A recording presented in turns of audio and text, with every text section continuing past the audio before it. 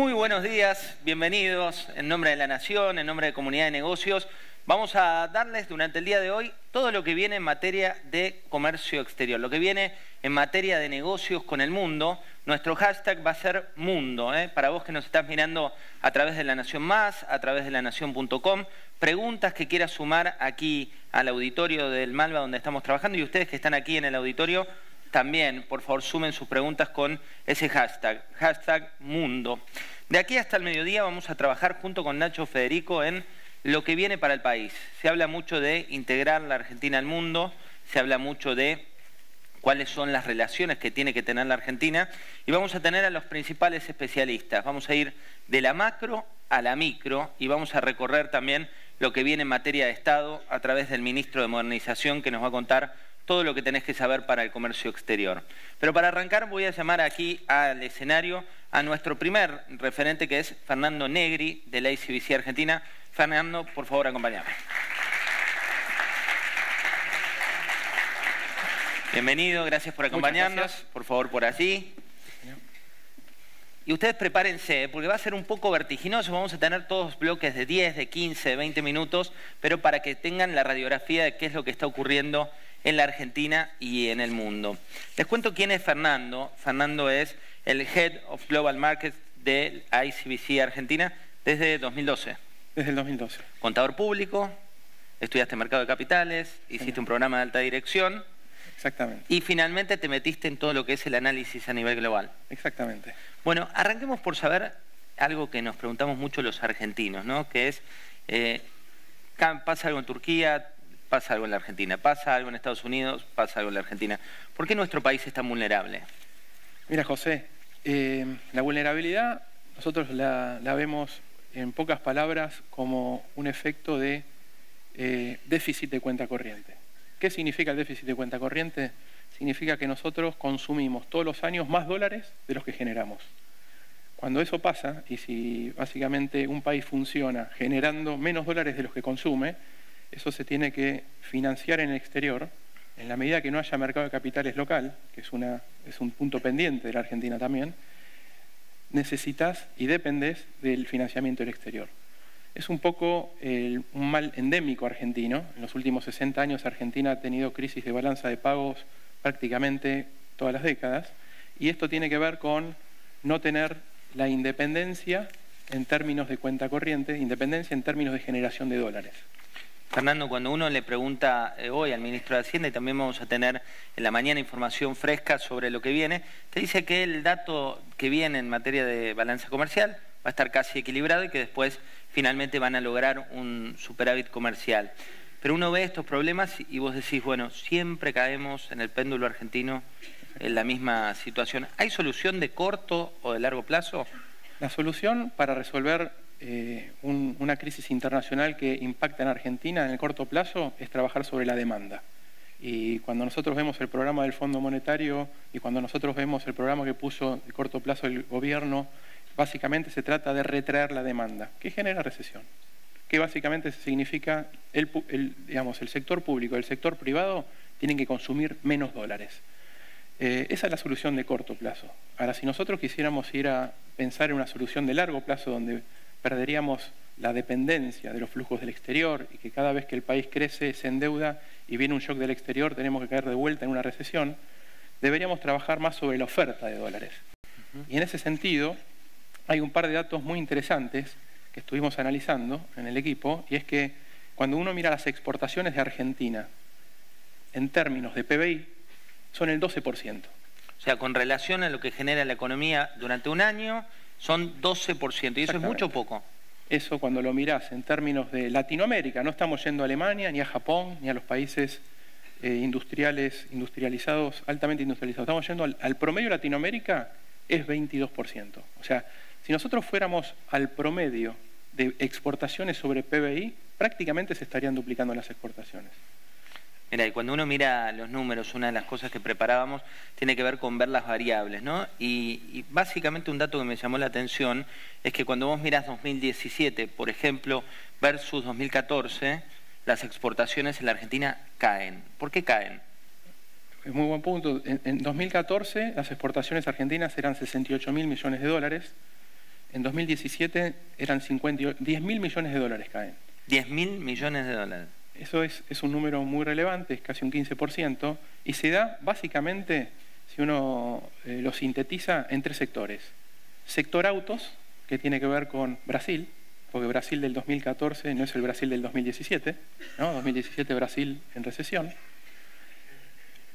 Otro tercio de esa caída de 10 mil millones de dólares tiene que ver con el oil and gas, o sea, petróleo y gas, porque realmente la inversión, eh, digamos, en el 2017, eh, Argentina en 2014 producía mucho más oil and gas que en 2017. Y eh, el, tercer, el tercer punto tiene que ver con los precios de las materias primas que exportamos, las oleaginosas en particular. O sea, los commodities como la soja, por ejemplo. Oleaginosas en particular que caen alrededor de 3.500 millones de dólares. Entonces, y eso tiene que ver con precios. O sea, dependemos de los precios eh, en el año 2018 tenemos un nuevo impacto que tiene que ver con la sequía, y esos son otros 3.000, 3.500 millones de dólares más. Entonces, eh, cuando uno hace un raconto de lo que pasó 2014-2017, dice, bueno, en parte falta inversión, la falta de inversión en, en oil and gas tiene un efecto en exportaciones, eh, lo que le pasa a nuestro socio comercial más importante, que es Brasil, tiene un efecto. Directo, ¿no? Se refría a Brasil, se enferma Argentina. Es, definitivamente así, toda la historia va a ser así y en el futuro va a seguir siendo así. Y eh, básicamente, para que no pase eso, lo que tenemos que hacer es empezar a diversificar las exportaciones y, eh, digamos, tratar de encarar un programa de largo plazo donde las exportaciones, donde las exportaciones sean eh, estén en la agenda de la política en el sentido amplio.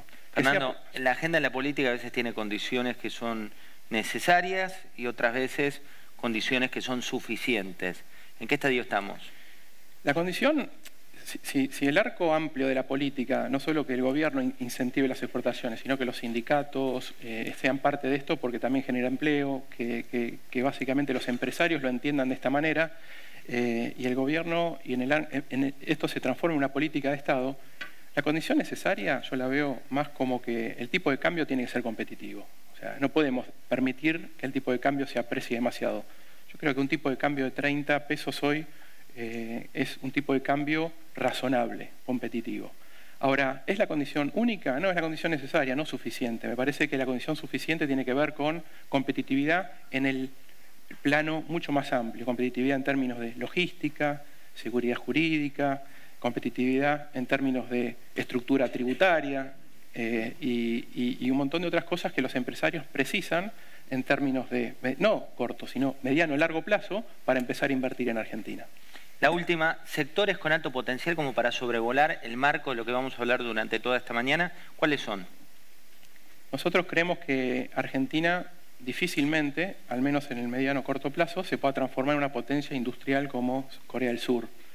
Pero sí creemos que eh, Argentina puede desarrollar sus ventajas comparativas y, por ejemplo, eh, seguir desarrollando las exportaciones de agrícolas, eh, desarrollar, desarrollar muchísimo más, porque hoy la minería, que hoy representa menos del 5% de las exportaciones, tenemos toda la cordillera de los Andes, tenemos litio, tenemos cobre, tenemos oro. Entonces, creo que la minería es un sector a desarrollar que precisa inversión, pero que tiene un potencial gigantesco.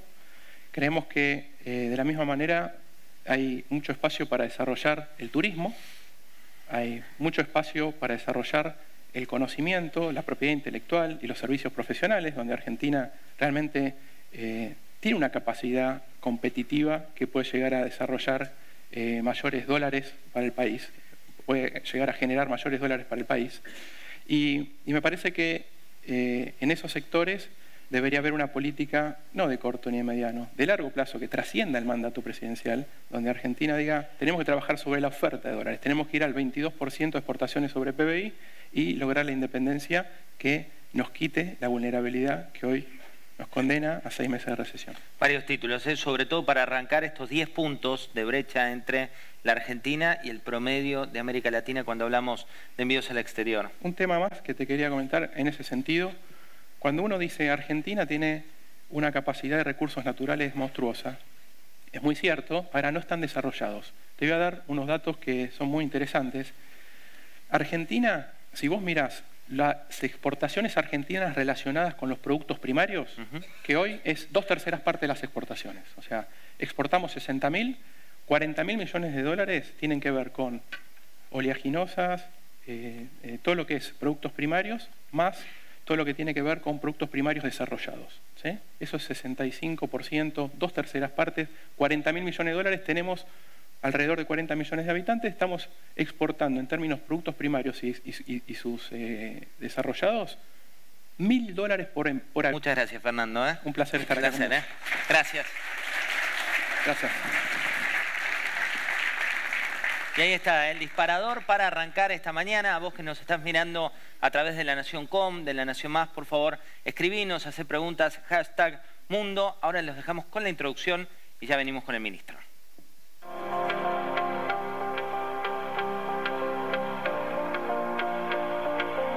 We must protect our borders from our jobs. Protection will lead to great prosperity and strength.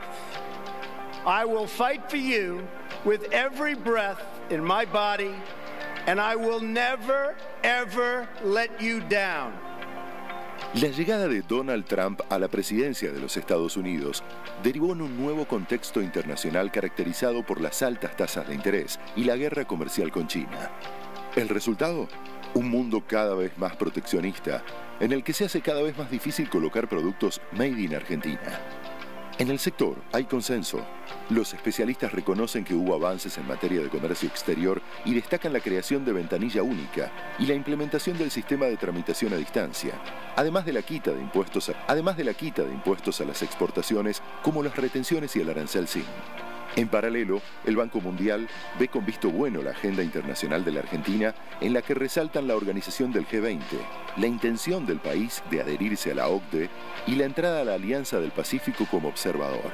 Todo el modelo está girando y las pymes, que es lo más importante que tenemos que ocuparnos, están girando a pensar cómo y de qué manera pueden exportar. Entonces todo el gobierno está tratando de ayudar a simplificar, a diversificar la atención y el trabajo en equipo para que todos podamos ir en esa dirección. Sin embargo, los números no terminan de reflejar los deseos del Poder Ejecutivo. Según datos del INDEC, en junio de 2018, las exportaciones alcanzaron 5.076 millones de dólares y las importaciones 5.458 millones. De esta manera, el déficit comercial fue 382 millones de dólares. En términos acumulados, el desequilibrio comercial del primer semestre de 2017. El gobierno apuesta al efecto que tendrá la devaluación del peso para incentivar exportaciones. Sin embargo, los productores temen que la medida sea de corto plazo y termine con un pass-through sobre los costos internos.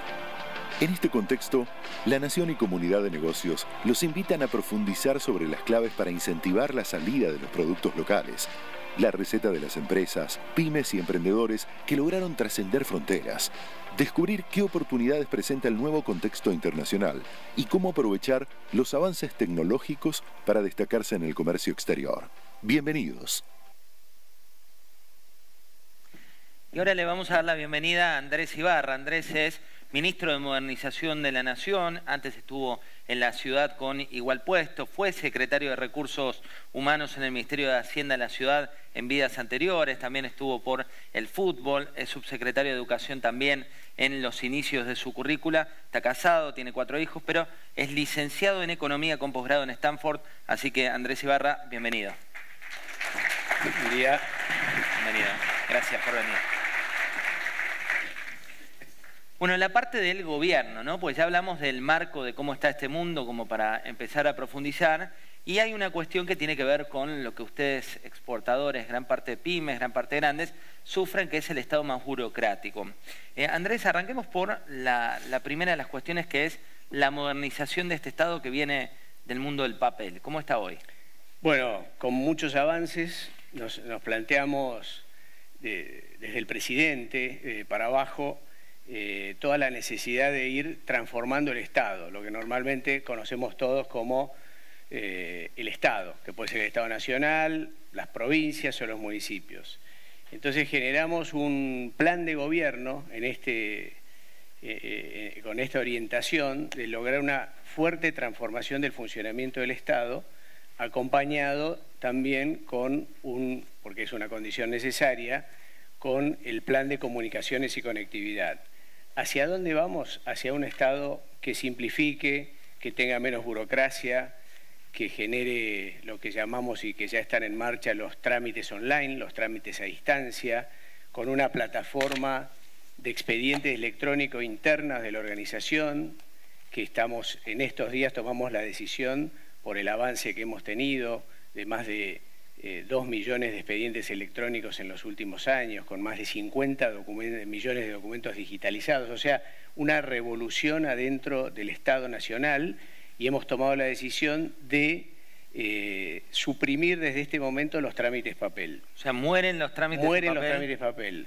los famosos expedientes papel, esas montañas de documentos eh, que estábamos acostumbrados a ver y las parodias sobre ese tema eh, dejan de existir en el Estado Nacional a partir de ahora y a partir de enero en algunos organismos eh, que pertenecen también al propio sector público. Quiere decir que esto es un cambio revolucionario por el hecho de que lo que buscamos es que finalmente cualquier tramitación en el Estado sea digital, que es a donde va el mundo. Nosotros... Andrés, el papel también da, digo, en muchos exportadores o importadores que nos están mirando recuerdan las famosas de JAI, las declaraciones juradas anticipadas de importaciones, que en gran parte eran discrecionales. Absolutamente. Bueno, ya, habrán visto, todo empezó allá por diciembre del 2015 con el levantamiento del cepo, tratar de eliminar todas esas barreras. Pero fuera de eso, que eh, en muchos casos son decisiones políticas, eh, que se transforman en decisiones técnicas, económicas, lo que estamos buscando es la simplificación en cada uno de los organismos y de los procesos del Estado.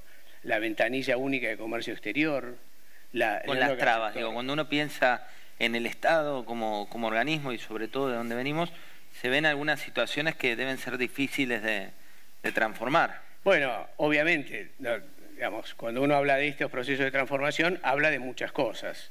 Hablamos de un cambio cultural en el empleo público, porque los empleados tienen que acompañar ese proceso en donde no es lo mismo, primero desde lo más básico, el que viene del que no viene. Por eso hemos incorporado los sistemas de presentismo, por eso también estamos desde el, desde el año que viene ya eh, formalizado a través de acuerdos paritarios eh, en los esquemas de evaluación de desempeño con cumplimiento de objetivos y con una parte de variabilización del tema remuneratorio.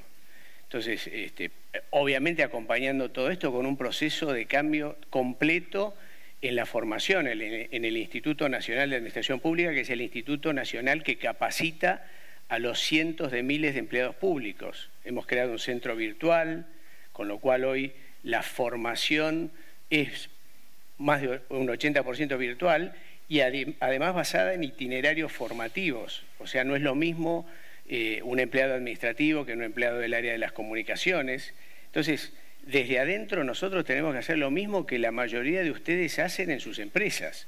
¿Y qué pasa con los tiempos? ¿no? Gran parte de los exportadores lo que ven es que los tiempos son muy laxos en, términos de implementación y la ventanilla única electrónica es un buen paso, pero ¿cuánto falta para ser competitivos a nivel global? Obviamente es, es un proceso en donde vamos implementando todos los sistemas. ¿Qué hacemos nosotros? Nosotros como primer paso y como manera conceptual lo mismo hicimos en la Ciudad de Buenos Aires, porque esto lo hicimos en la Ciudad de Buenos Aires, eh, lo que hacemos es reemplazar los trámites papel, por decir así, de los distintos organismos, los distintos tipos de trámites que se hacen en el Estado, por trámites digitales. Más allá de los procesos de reingeniería que puedan corresponder. O sea, pasamos de papel a digital, primero. Segundo, los procesos de reingeniería. En esa línea, la ventanilla única de comercio exterior, eh, mirando y comparando eh, los trámites que antes eran papel y que ahora pasaron a ser digitales, y también eliminando muchos de esos pasos, como, como certificados avícolas, certificados de exportación e importación, etcétera, ya han generado en, en varias de estas áreas ahorros que son asombrosos, de más del 50%. Eh, miles de millones de pesos. Esa privacidad. Y, más en un mundo que va hacia el Big Data. todo el concepto de Big Data. Pero estamos en Mall Data, ¿no? Con los cuadernos ahí anotado todo. Pero bueno, vamos a... Siempre, esto, solo en Argentina, ¿no? siempre en la Argentina partimos del tercer subsuelo. Todo está desde ahí abajo y vamos avanzando, ¿no? Es muy bizarro, pero sí, vamos a, a esa parte. En, en ese sentido. Yo lo primero que quiero decir es que no hay cosa más insegura y que se acerque más a cualquier tipo de truchaje, para hacerlo bien entendible, que un expediente papel, que está al alcance de cualquiera. Yo he tenido oportunidad y le he sacado fotos. Cuando llegamos eh, el primer mes, me acuerdo, algunas de las personas que estaban tramitando expedientes de compras, y este, con, foto inclusive, expedientes de este tamaño, decía, bueno, dentro de dos años no vas a tener más esas carpetas. Y no, eh, y justamente es por la instrucción de la digitalización.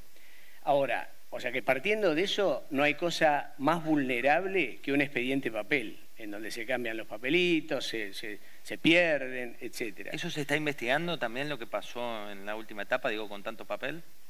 sumarios ha habido muchísimos, en, todo sentido, y, inclusive por los propios pedidos de la justicia.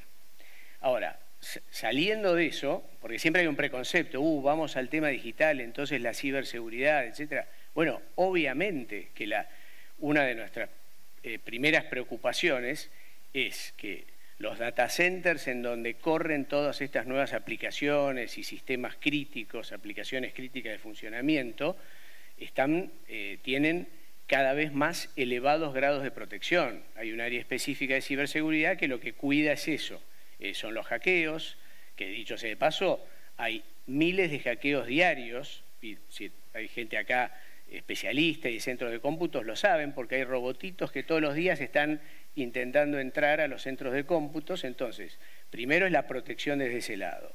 Y después, en el mundo del Big Data, obviamente que está la ley, la ley de protección de datos personales, eh, y todo lo que tiene que ver con el cuidado de la información. Imagínense, yo les decía, más de dos millones de expedientes que se han generado en el último año y medio, para lo cual capacitamos a más de 200.000 personas en el Estado, 200.000 personas para que aprendan a manejar este sistema. Obviamente tiene, eh, eh, estos sistemas tienen la información de, de transacciones de todo el gobierno, incluyendo los sistemas de compras digitales. Entonces, todo esto tiene esquemas de seguridad, quiénes pueden entrar, quiénes no, eh, o sea que Digamos, es un frente que cuando uno va al mundo digital, por supuesto, es una de las prioridades que hay que tener en cuenta. En un rato vamos a hablar aquí de blockchain, pero me interesa saber desde el punto de vista del Estado, ¿no? De ¿Qué están haciendo para implementar tecnología blockchain? Bueno, estamos trabajando en varias de los, de los desarrollos que hacemos. Uno, por ejemplo, es el sistema Comprar, es el de compras digitales.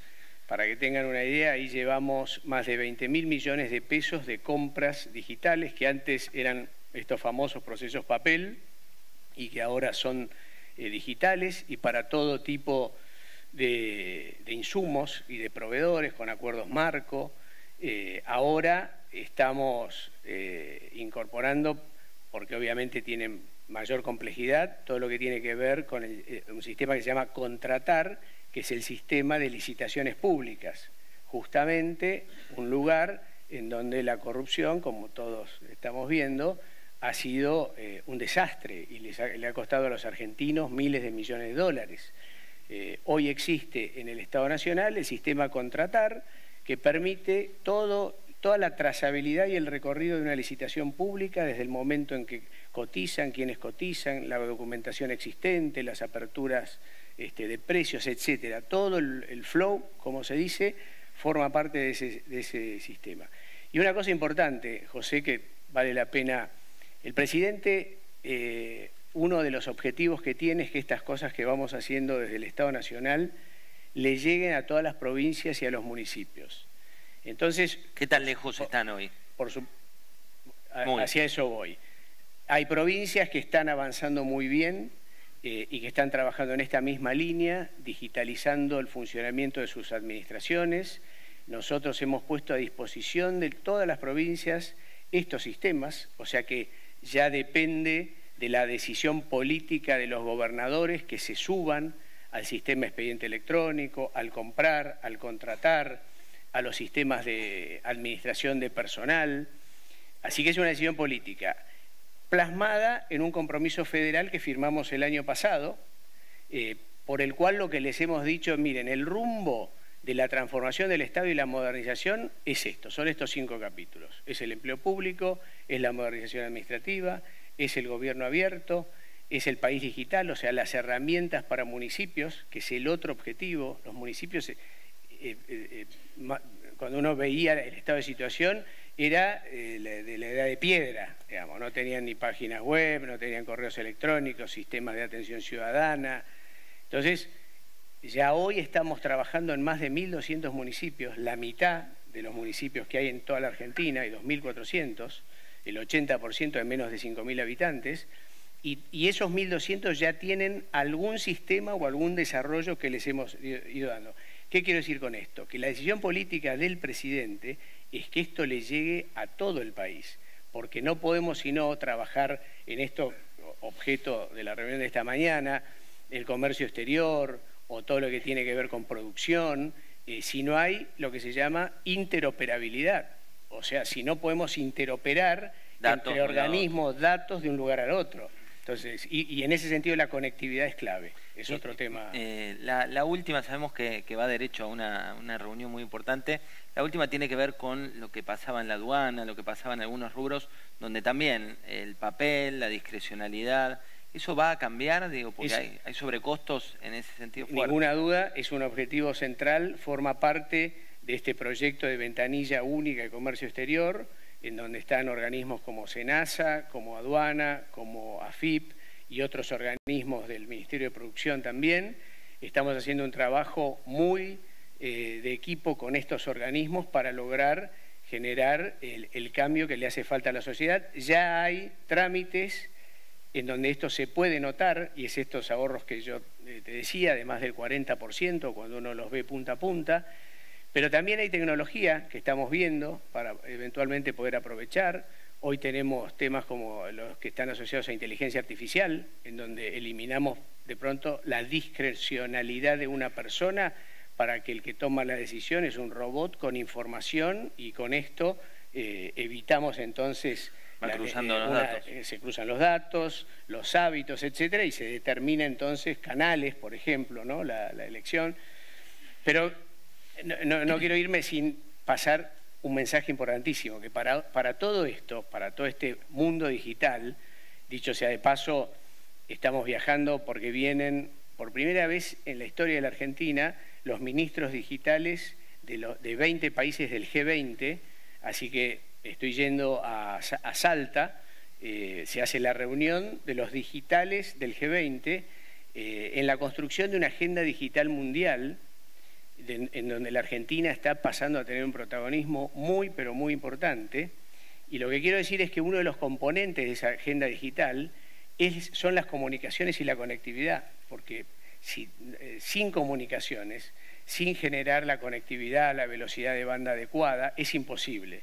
Y eh, es imposible llevar adelante un gobierno digital, una economía digital y otro concepto que es el de inclusión digital. Necesitamos que los argentinos estén incluidos digitalmente, eh, entendiendo las situaciones de pobreza y de marginalidad, pero es fundamental generar todo este tema de, inclusión, digital.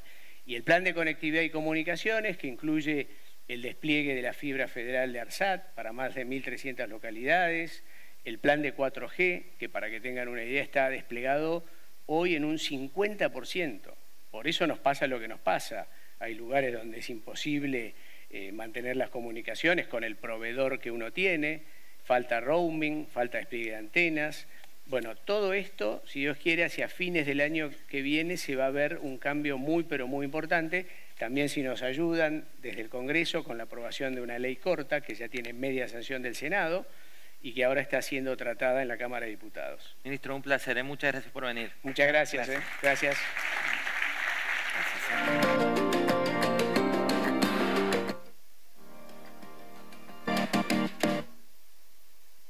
Y ahora nos vamos a meter en el mundo de las empresas, porque ya veíamos el dato a nivel global, veíamos el dato a nivel gobierno con los desafíos que tienen para modernizar y las dificultades, ¿no? que, que son muchas y se están dando hoy.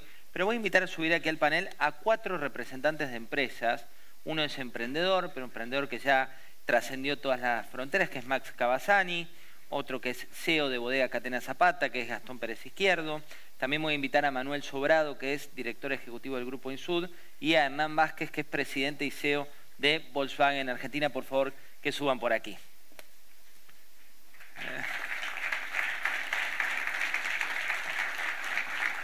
Bienvenido Manuel, ¿cómo estás? Manuel de Grupo Insud por allí, por favor. Gastón Pérez Izquierdo de Catena Zapata por allí. El amigo Max por acá, por favor. Hernán Vázquez. ¿Qué tal, José? ¿Cómo estás? ¿Todo bien? Gracias por acompañarnos. Les cuento un poco brevemente las historias a ustedes que nos están mirando a través de La Nación Com y a quienes están aquí en el auditorio del Malva. Arranco acá por el amigo de la izquierda. Él es Max Cavazzani, CEO y fundador de Termax. ¿Hace cuánto tiempo, Max? Ocho años. Bueno, Ahora- casi nueve. Ahora construyendo oficinas, no te veo ahí todo el tiempo en Instagram, ¿no? Sí. Pero ese no es el currículum importante de él, sino básicamente este, por ejemplo, que con eh, apalabrados y con preguntados, la compañía se convirtió en líder de desarrollo de juegos móviles en Latinoamérica, la de mayor crecimiento en la región. Hoy tenés un equipo de 250 personas. Sí, 200 acá en Argentina y tenemos 20 en Berlín y 30 en Uruguay. Uruguay, Berlín y algo en Montevideo también, ¿o no? ¿Y México? Uruguay es... Ah, perdón, sí, tenés razón. No, eh, Berlín y México. En México tenemos oficina de representación. En- eh, sí. Está bien, tenés razón. Uruguay está en Montevideo. Si estás en Uruguay no te enojes, es que estaba pensando en México, en el DF. Bueno, eh, a vos no te voy a preguntar de geografía porque te voy a decir Uruguay y México. Eh, Gastón, ¿cuánto tiempo en la bodega? 16 años, 16 años. Y hoy exportando cuánto de lo que producen. 60%, 60% de la producción. ¿De profesión? Licenciado en Comercio Internacional. ¿Y tenías previsto de raíz dedicarte a esto o no? No, no tenía previsto de raíz dedicarme a esto. Yo creo que cuando uno se mete en la facultad no tiene muy previsto de raíz nada. Su Pero... currículum igual habla de supermercadismo, se, ya prescribió, era 44 años sí, ya Sí, sí, a- digamos, hace 16 años que estaba en el supermercadismo. Ahora a, a prescripto, ¿no? prescripto. Bueno, Manuel, ¿cómo andás? Muy bien. ¿Cuánto tiempo dedicado a esta industria farmacéutica y toda la que tiene Llevo ver con 12 años trabajando en Grupo Insud. Pero antes también tuviste otras vidas. Sí, tuve otras vidas, siempre trabajé en grupos de capitales nacionales grandes, trabajé en grupos Socmo y trabajé también en, en Bridas. Y en su momento también una de las, de las cuestiones que, que leí en tu currículum es que eh, participás de varias cámaras, ¿no? Que tienen Sí. que ver con lo forestal, con lo energético, con, con rubros muy disímiles. Así es, en, en Insud nosotros tenemos una actividad principal, que es la actividad farmacéutica, una actividad que nació integrada al mundo, porque Insud Pharma cuenta hoy con presencia en más de 40 países, tenemos 14 plantas industriales en, en todo el mundo, desde China hasta Estados Unidos, pasando por Europa y obviamente también aquí en Argentina, y tenemos 10 centros de investigación distribuidos también por, por todo el mundo. Hernán, en tu caso también una carrera en Volkswagen, ¿de cuánto tiempo? 32 años. 32 años, pero por la tonada, eh, por la tonada eh, varias escalas también. Estuve en Barcelona, España o Cataluña, según quieras o según la opinión de cada uno. Depende cómo lo mires. Depende cómo lo mires. Para mí España, Barcelona, ahí estuve 27 años trabajando en el grupo Volkswagen y aquí en Argentina llevo ya tres y pico. Soy argentino de nacimiento. ¿eh? Pero sí, pero el primero de noviembre es cuando asumiste como con esta, esta posición de Exacto. presidente y CEO de Así Volkswagen argentino, ¿no? Así es. Y tenés responsabilidad sobre cuánta gente. 5.500 personas entre Pacheco y Córdoba. Son las dos fábricas que hoy Las dos fábricas que Volkswagen tiene en Argentina. Exacto. Bueno, Max, ¿cómo es exportar servicios desde Argentina? Eh, tiene sus peculiaridades. Eh, en, en general los servicios son los más fáciles de expor- exportar porque no tienen problema de aduana, no, digamos, no tienes un problema de transporte tampoco. Yo siempre digo que a una empresa de juegos de Estados Unidos le cuesta lo mismo publicar en Estados Unidos que en Argentina y a nosotros también. Entonces eso abre las puertas a una competencia más directa, que por ahí no ocurre con otro tipo de industrias, y requiere que uno se ponga a la altura de, de- de todas las otras empresas del mundo. O sea, si tenés no- que ser competitivo Tenés que realmente. ser realmente competitivo porque no tenés defensas eh, naturales, como puede tener, no sé, si yo abro un supermercado en Argentina, no estoy compitiendo contra un supermercado en, en Francia. Pero sí pasa con, con servicios y sobre todo con juegos que a través de los últimos años la distribución se hizo mucho más fácil. Cuando hablamos de preguntados hoy, ¿cuántas descargas tiene a nivel global? 500 millones. 500 millones. Y en países muy particulares también es número uno. Tuvimos, eh, a ver, como raros, Rusia, Turquía, Finlandia, eh, Sudáfrica, bueno, y después toda América, desde Canadá hasta Tierra del Fuego, eh, estamos ahí fuertes. Inclusive tenés un dato de celulares, de la cantidad de descargas por celular, que, ¿cuál es el indicador que manejan? En realidad, por ejemplo, Apalabrados en, en, en, España tuvo instalado en uno de cada dos teléfonos, en Estados Unidos se lo bajó a la mitad de la población, así que bueno, estamos ahí eh, con esos números. Y es talento argentino de exportación, a eso nos referíamos con, servicios. Cuando hablamos de vino, igual decía, conocimiento se exporta de una manera de competitividad distinta. En el vino, ¿cómo está el vino hoy en el mundo?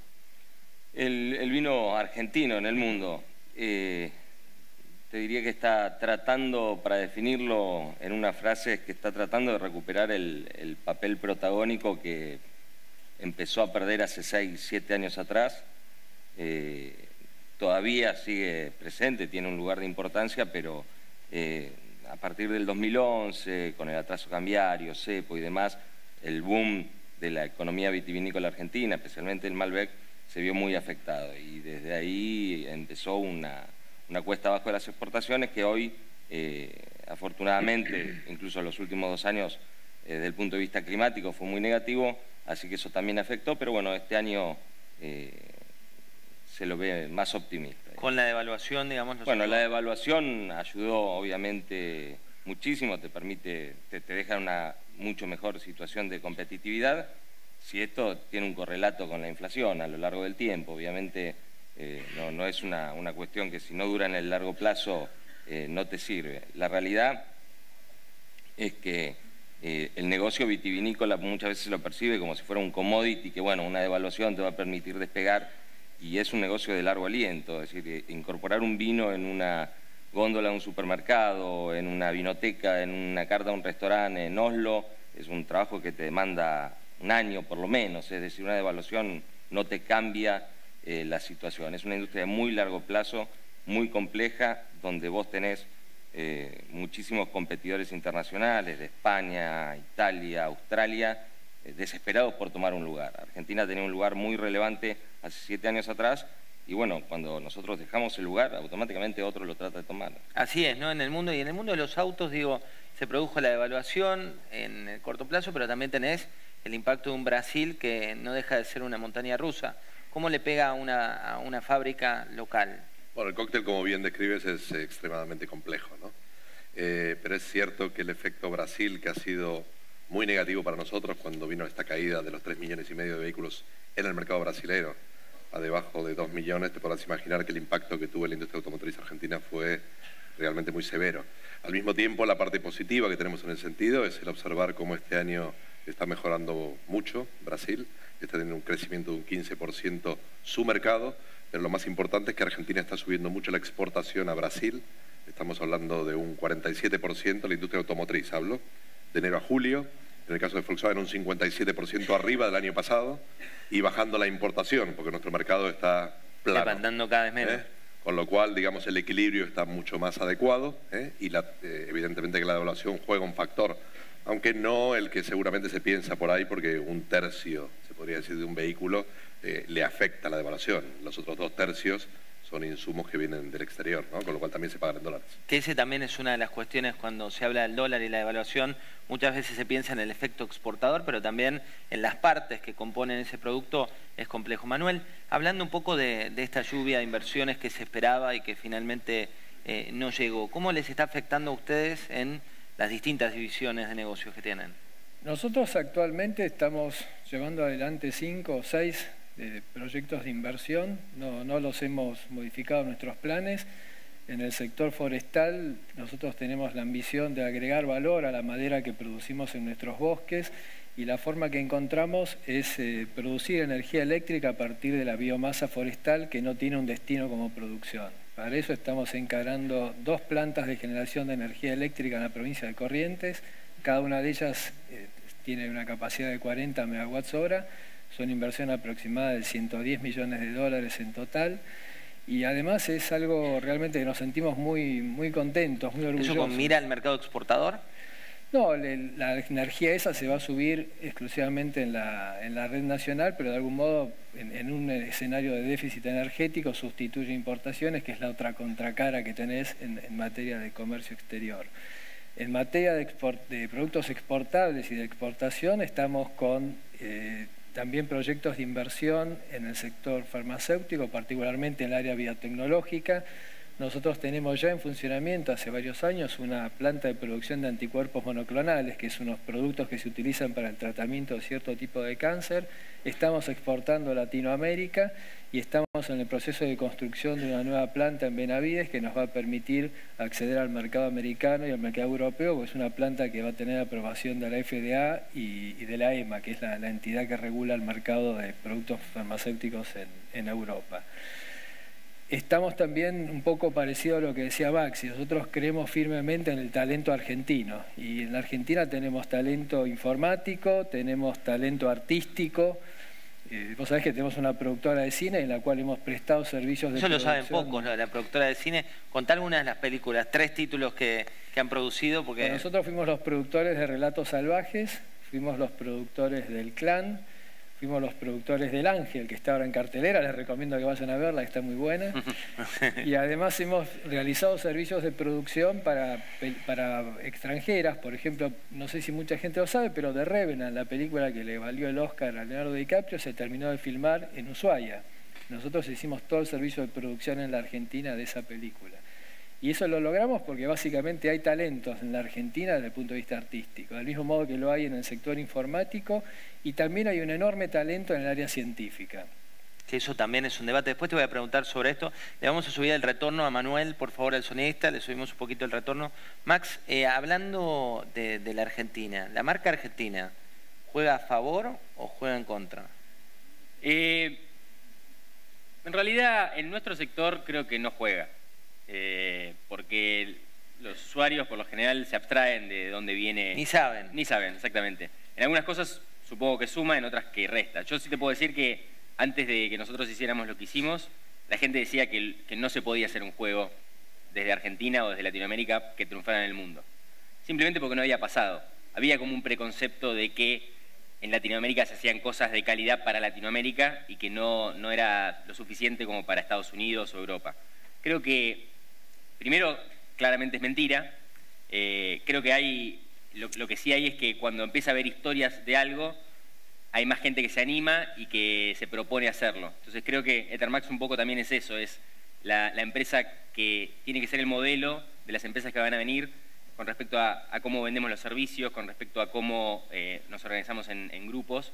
Eh, pero creo que Argentina, intrínsecamente, o sea, no desde el punto de vista de la, de la imagen, tiene una materia prima muy buena para hacer eh, contenido de propiedad intelectual, porque tiene una muy buena educación pública, gratuita, eh, y creo que el argentino es una persona por lo general que se, compromete con la educación bastante, si bien aprovecho el, momento para decir, necesitamos más gente que estudie ingeniería, necesitamos más gente que estudie ciencias, más mujeres sobre todo, que deberían ser el 50% y no lo son, eh, desgraciadamente. El porcentaje sigue siendo muy bajo. Sí, Yo, cuando yo estudié en el ITPA, mm. Ingeniería Informática, y cuando tenía de, 40 compañeros había dos mujeres, cuando deberían haber sido 20. Es una cuestión cultural, por supuesto, pero también está en cada mujer eh, ir en contra de, de ese precepto cultural, porque al final en nuestra sociedad nosotros elegimos que estudiar, elegimos que estudiar y tiene que partir del individuo. ¿Y crees que eso también hace la diferencia? ¿no? Hablabas de educación como tal y al momento de exportar conocimiento, que hoy es una industria que genera ingresos por 3 mil millones de dólares, el potencial está ahí, en la educación. El potencial está en la educación, el potencial está en la promoción de emprendedores que organicen esa gente educada para que produzcan cosas, el potencial está en las universidades que ayuden a esos emprendedores a incorporar tecnología, eh, y también en una sociedad que entienda la necesidad de estas cosas. Desgraciadamente no hay una simetría entre lo que es importante y lo que la gente considera importante porque la gente está cada una en su, en su mundo, está bien, tenemos que tratar de, de hacer, de, mostrarle a la gente las cosas que son importantes, las cosas que debería esperar de sus gobernantes, las cosas que debería esperar de sus hijos, de, de sí mismos y la sociedad toda, porque es la única forma de construir una sociedad mejor. Si uno va a sociedades que funcionan bien, como la finlandesa, por ejemplo, que la conozco de cerca, eh, es, una cosa integral. Las mujeres están incorporadas a, la economía, si vos vas a una facultad de ingeniería, no sé si es el 50%, pero está muy cerca. Eh, el respeto por, por toda la sociedad está dado, un maestro gana muy bien y es, una, es, una, es un puesto de, mucho renombre en, Finlandia, por decir algunas cosas. Y eso no tiene que ver con los gobernantes, porque a veces ponemos todo el peso sobre los gobernantes, que por supuesto tienen su responsabilidad, pero al final los gobiernos son son reflejos de la sociedad eh, como un todo. Y está en cada uno de nosotros darle más importancia a cosas que tienen importancia y también sacarle importancia a cosas que no tienen tanta importancia, como la coyuntura económica, como el, dólar peso de El dólar, la ley, la ley ah. eh, que por ahí es muy, no sé, por ejemplo, el debate del aborto, que es un debate importante, pero mm. creo que en, el balance de lo que es importante para la sociedad, tiene mucho más eh, prensa de lo que debería tener con respecto a, por ejemplo, eh, todo lo, que tiene que ver con cómo pensamos nuestra matriz económica, porque al final la pobreza tiene que ver con eso, tiene que ver con cómo esa matriz se mueve y, cómo genera la torta, que al final después hay que repartirla, pero la torta es una sola, entonces... Es, es un buen disparador, es el de cómo repartir la torta, la distribución también para eh, hablar de los distintos sectores que, ustedes son protagonistas. Vos hablabas, Gastón, de una foto ¿no? que se dio en los últimos años, donde la Argentina siempre tiene potencial para crecer en el mercado exportador de vino, pero cuando mirás la realidad, ¿se perdieron qué mercados? Eh, no, no se perdieron exactamente mercados, se perdieron segmentos de mercados. Es decir, como te contaba que, digamos, la, industria vitivinícola es una industria de vino fraccionado, ¿no? distinto es la industria vitivinícola granel. Pero la de vino fraccionado es es de largo plazo y entonces vos tenés distintos segmentos del mercado. Cuando vos empezás a tener a partir del 2011 eh, un atraso cambiario en todo lo que es el sector, el, segmento entry level o de precios bajos, ya no sos competitivo. Ahí ya te empieza a sacar mercado España, te empieza a sacar mercado Chile. En lo que es volumen. En lo que es volumen, en lo que es volumen y lo que te hace también el grueso de la industria. Por ahí en la alta calidad no tenés ese problema porque podés mantenerlo, pero en lo que es volumen vas perdiendo negocio. A medida que vos vas perdiendo segmentos, no te vas retirando de mercados, pero sí de segmentos de mercado. Vos, de esos segmentos de mercado que te retirás, después es muy difícil volver a recuperarlo. Primero y principal, porque la oportunidad de tenerlo la primera vez, hay muchísimos países productores de vino. La, oportunidad de sentarte con el, con el comprador, convencerlo de llevar tu vino, es una. Si después vos le tenés que cambiar las reglas del juego, el tipo la segunda vez, ya convencerlo te cuesta un poco más. Ya te mira más de reojo y dice, vos viniste... Te exacto, te volvés menos, eh, menos confiable para él, ¿no? A lo que vos decías, Argentina, cómo es percibida, no, afortunadamente en el mundo del vino, eh, te diría que Argentina es percibida como un, país productor de vinos de altísima calidad. Eso es positivo. Argentina es un, destino exótico, es algo eh, interesante, la gente está dispuesta, pero cuando vos te sentás con el tipo que decide, ese no mira el lado cool del negocio o dice, che, este tipo va a ser confiable en el largo plazo, yo puedo contar. Eh, así que, bueno, eso es, eh, es, lo que tenés que tener en cuenta, ¿no? Eh, hablando de lo que tenés que tener en cuenta, Hernán, siempre se, se habla de la Argentina en materia automotriz como un mercado que se especializó junto con Brasil desde que se cerró el famoso régimen entre ambos países, pero en los medianos, en los de mayor valor agregado como, como tal. ¿Sigue siendo eso lo que marca la competitividad, digo, para el sector automotor, con áreas específicas de una región para el mundo? Eh, sí, cada día más. Eh, al fin de cuentas, las multinacionales están buscando, en este caso la nuestra, eh, sectorizar el mundo para, entre otras cosas, entender cuáles son las necesidades del cliente, lo cual me parece que es realmente importante. ¿no? Hasta no hace muchos años, aquí, al fin de cuentas, se vendía lo que en Alemania se decidía si lo podemos decir de una forma muy sencilla. Como que la matriz, vos tenías que pelearla. hoy tenemos una región Sudamérica y en esa región Sudamérica tenemos capacidad de diseño, capacidad de opinar, capacidad de una serie de cosas, entendiendo lo que el mercado nos pide, con lo cual esa diferenciación cada día es mayor, ¿vale? Pero utilizando la misma tecnología que el resto del mundo, y ahí está la parte positiva. Que eso no quiere decir renunciar a las mejores tecnologías del automóvil. Hoy en día ya los vehículos que producimos en Argentina o en Brasil para Sudamérica tienen el mismo nivel tecnológico que lo que se fabrica en Europa. Y de hecho, una prueba más de esto es nuestra fábrica de cajas de cambio en Córdoba. Tenemos ahí, para quien no lo sepa, una fábrica que este año hará en el entorno de 700.000 cajas de cambio. Y estas cajas de cambio van a nutrir las diferentes marcas del grupo Volkswagen, no solamente la marca Volkswagen, sino Audi, Skoda, SEAT, con lo cual son cajas de cambio argentinas que salen a Europa y al mundo y de hecho el proyecto que acabamos de anunciar hace unos pocos meses de la nueva caja 281, que es una caja manual de seis velocidades, son unas 270.000 cajas al año, todas para Europa. ¿eh? Con lo cual, hay que combinar ambos factores. Por una parte, lo que es la regionalización y trabajar en nuestros productos para nuestros mercados, hacernos fuertes en ese sentido y también tener capacidad de hacer modelos o en este caso componentes que puedan servirnos para netear efectos como los que podemos haber vivido hace poco tiempo con Brasil, equilibrar un poquito la balanza. Manuel, yendo a equilibrar balanza y a diversificar, estuvo hace minutos Andrés Ibarra, el ministro de Modernización, que contó la parte de eh, un Estado sin papeles o la búsqueda que hay de un Estado sin papeles. ¿Qué balance haces de las últimas medidas que tomó el gobierno?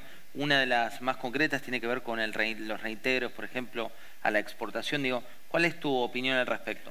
Yo creo que se ha avanzado muchísimo en, materia de modernización, de agilización de trámites y, del funcionamiento burocrático. Me hacía acordar un poco, no sé si se acuerdan, un libro que llamaba Ser Digital, que vos seguramente, Maxi, lo vas a acordar, de, de Negroponte, que él hablaba de que en el mundo iba a haber dos economías, la economía de los bytes y la economía de los átomos.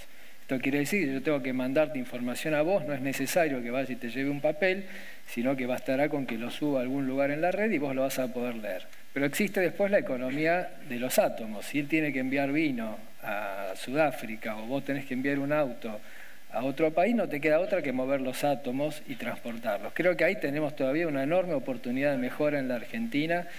Nosotros en el sector forestal estamos buscando alternativas de exportación. Hoy todavía los costos de logística son un, inconveniente, si bien se ha avanzado mucho también con el funcionamiento de los bitrenes en la zona de corrientes y misiones, aún hoy el, costo logístico sigue siendo un peso importante para algunas industrias. La logística sigue siendo, ¿no? En términos de, costo, sobre todo para los productos eh, locales, un, tema importante. Sigue siendo un tema que, hay, que hay que trabajar y hay que mejorar. Se, ha avanzado mucho, se empezó a trabajar en eso, pero creo que todavía queda un camino importante por recorrer, porque no solo el tipo de cambio tiene que ser competitivo, yo creo que es importante a la, hora de analizar exportaciones, tener un tipo de cambio competitivo, pero también tener costos logísticos competitivos, tener una presión fiscal competitiva. Digamos, la competencia es un conjunto de factores que no está dado solo por el tipo de cambio. Eh, hablando de tipo de cambio, y esto es algo que, vale la pena, ¿no? porque muchas de las cámaras sectoriales solo ponían el foco de la competitividad en tipo de cambio y está comprobado en la economía local que, que eso con incremento de precios, con la inflación que hay, al tiempo ya se equipara ¿no? y ya no te hace más competitivo. Cuando hablamos de recursos humanos, vos hablabas de la educación, hablabas de una compañía que se pensó global, hablabas de oficinas en Berlín, oficinas en, Montevideo, en Uruguay. ¿Cuál es el futuro, el sueño más grande de una compañía como la tuya? Creo que está en, poder internacionalizarse, poder ser cada vez más grande, tener más relevancia a nivel mundial y resolver problemas humanos. Creo que un poco el enfoque de las nuevas generaciones que requieren juntar gente cada vez más educada, cada vez con más ambiciones.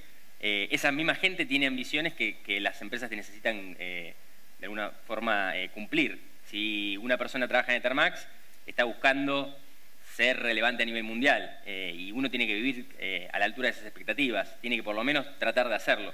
Nada te garantiza el éxito, pero sí proponerte las cosas hace que la gente por lo menos crea en ese sueño, intente y en el peor de los casos falle eh, y, o la misma empresa pueda volver a tratar o, o, cuando desaparezca otras empresas ocuparán ese lugar, pero dejó ya un camino hacia dónde ir. ¿Y tu, sueño tiene que ver también con ser parte de un gran grupo a futuro o Ethermax va a ser eh, Made in Kawasani? Para mí eh, Ethermax es una forma, no es un, no es un fondo, o sea, Ethermax puede seguir 20 años o puede venderse mañana, lo que no cambia es por lo menos desde mi parte y mucha de la gente que me rodea, es las ganas de hacer cosas, las ganas de transformar el mundo. De... Hay tantas cosas para hacer en el mundo. Yo siempre se lo digo, los chicos, sobre todo hablo, hablo mucho con chicos y ellos creen que está todo inventado. Yo cuando tenía 17 años también pensaba que estaba todo inventado. Eh, pero cuando uno va creciendo se da cuenta que el mundo, todo lo que nos importa en el mundo, está hecho por gente no mucho más inteligente que nosotros, o fue hecho por gente no mucho más inteligente que nosotros, que se organizó de manera correcta, que trató, que lo hizo, y que dejó algo que es muy valorable, es algo que yo siempre lo digo, hay que valorar la sociedad, hay que valorar el Estado, hay que valorar un montón de cosas que por supuesto son imperfectas, pero si uno no entiende de dónde salimos es muy difícil valorar esto y también proyectarse hacia dónde puede cambiar. Y yo siempre digo lo mismo, solo por nombrar algunas cosas, energía infinita, colonización del espacio del, sistema solar, la eliminación del envejecimiento de las enfermedades en su totalidad, solo por nombrar tres cosas que, nos podemos proponer para, lograr en este siglo. Eh, ¿Qué más emocionante que eso para, para dedicarle la vida a, a, transformar una sociedad que es imperfecta pero que puede ser mucho mejor? ¿Y cómo te miran cuando decís eso? me miran como un loco. me miran como loco. Pero también me miraban cuando, lo cuando dije que iba a ser una empresa de juegos. Eh, y tampoco quiere decir que, yo lo vaya a hacer ni que vaya a tener éxito, pero de verdad se puede hacer. De verdad. Si uno ve el principio del siglo XX, pasaron tres generaciones a, hoy. Es otro mundo. Tres generaciones.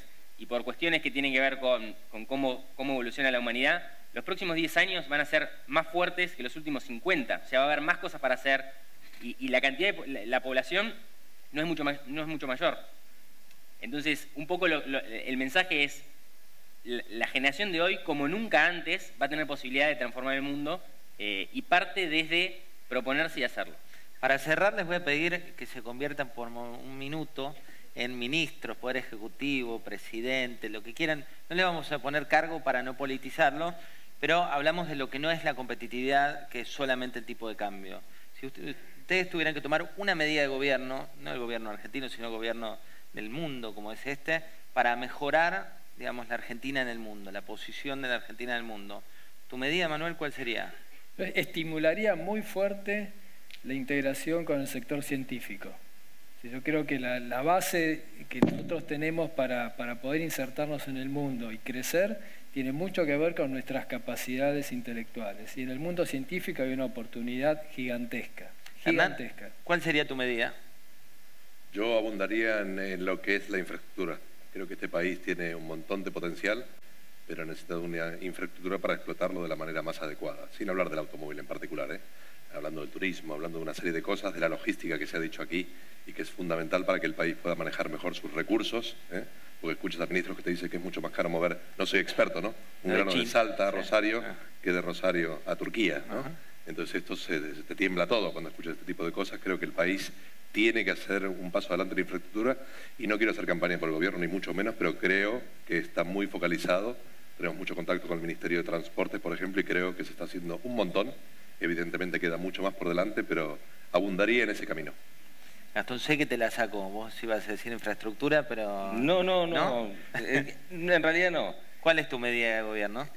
Cumplimiento de la ley ante todo. Yo creo que nada, eh, la mayoría de los problemas de Argentina se deben a que la ley es algo opinable y medio relativo, o sea, es algo que por ahí, si está bueno lo tomo, que yo, a ver cómo, digamos, la ley tiene que ser sagrada. Argentina, mientras no entienda eso, eh, le va a costar salir de todas sus crisis. Es decir, eh, la otra vez leía un artículo sobre los factofóbicos, es decir, acá todo es opinable, nada es un hecho. Factofóbico, sí, muy interesante ese artículo y muy argentino también. muy argentino, así que la ley ante todo. Max. Yo me propondría tener el mejor sistema educativo del mundo y empezaría, eh, empezaría a ver los mejores que hay hoy, finlandés y otros, algunos europeos, eh, y trataría de superarlos. Creo que si uno hace eso, en 20 años tenemos el mejor país del mundo. Ahí está, hay varias luces amarillas, pero que tienen que ver con decisiones a tomar. Ciencia, fíjate, estamos hablando de comercio exterior, ¿no? Ciencia ligada a lo privado, educación como base, como matriz, también el marco jurídico, que, que es cierto, ¿no? En la Argentina siempre, siempre volvemos a debatir sobre el marco más que avanzar sobre el marco y esta cuestión de infraestructura que nos hace tan distintos, por ahora como un déficit, pero ojalá sea un superávit. Muchas gracias.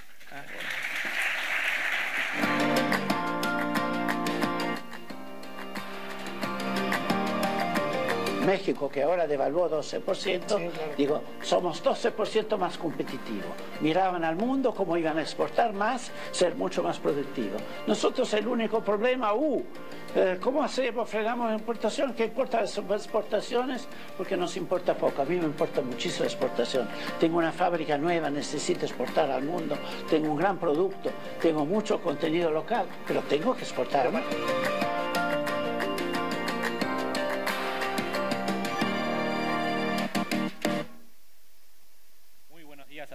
Mi nombre es Ignacio Federico, soy periodista del diario La Nación y los voy a estar acompañando en algunos paneles también esta mañana. Eh, en este caso eh, se trata de el desafío de estar preparados y ya le doy la bienvenida a eh, Fernando Vilella, director del programa de bioeconomía de la Facultad de Agronomía de la UBA, Vicente Donato, director ejecutivo del Observatorio PYME, y Enrique Mantilla, presidente de la Cámara de Exportadores de la República Argentina. Le damos una bienvenida con un aplauso, por favor.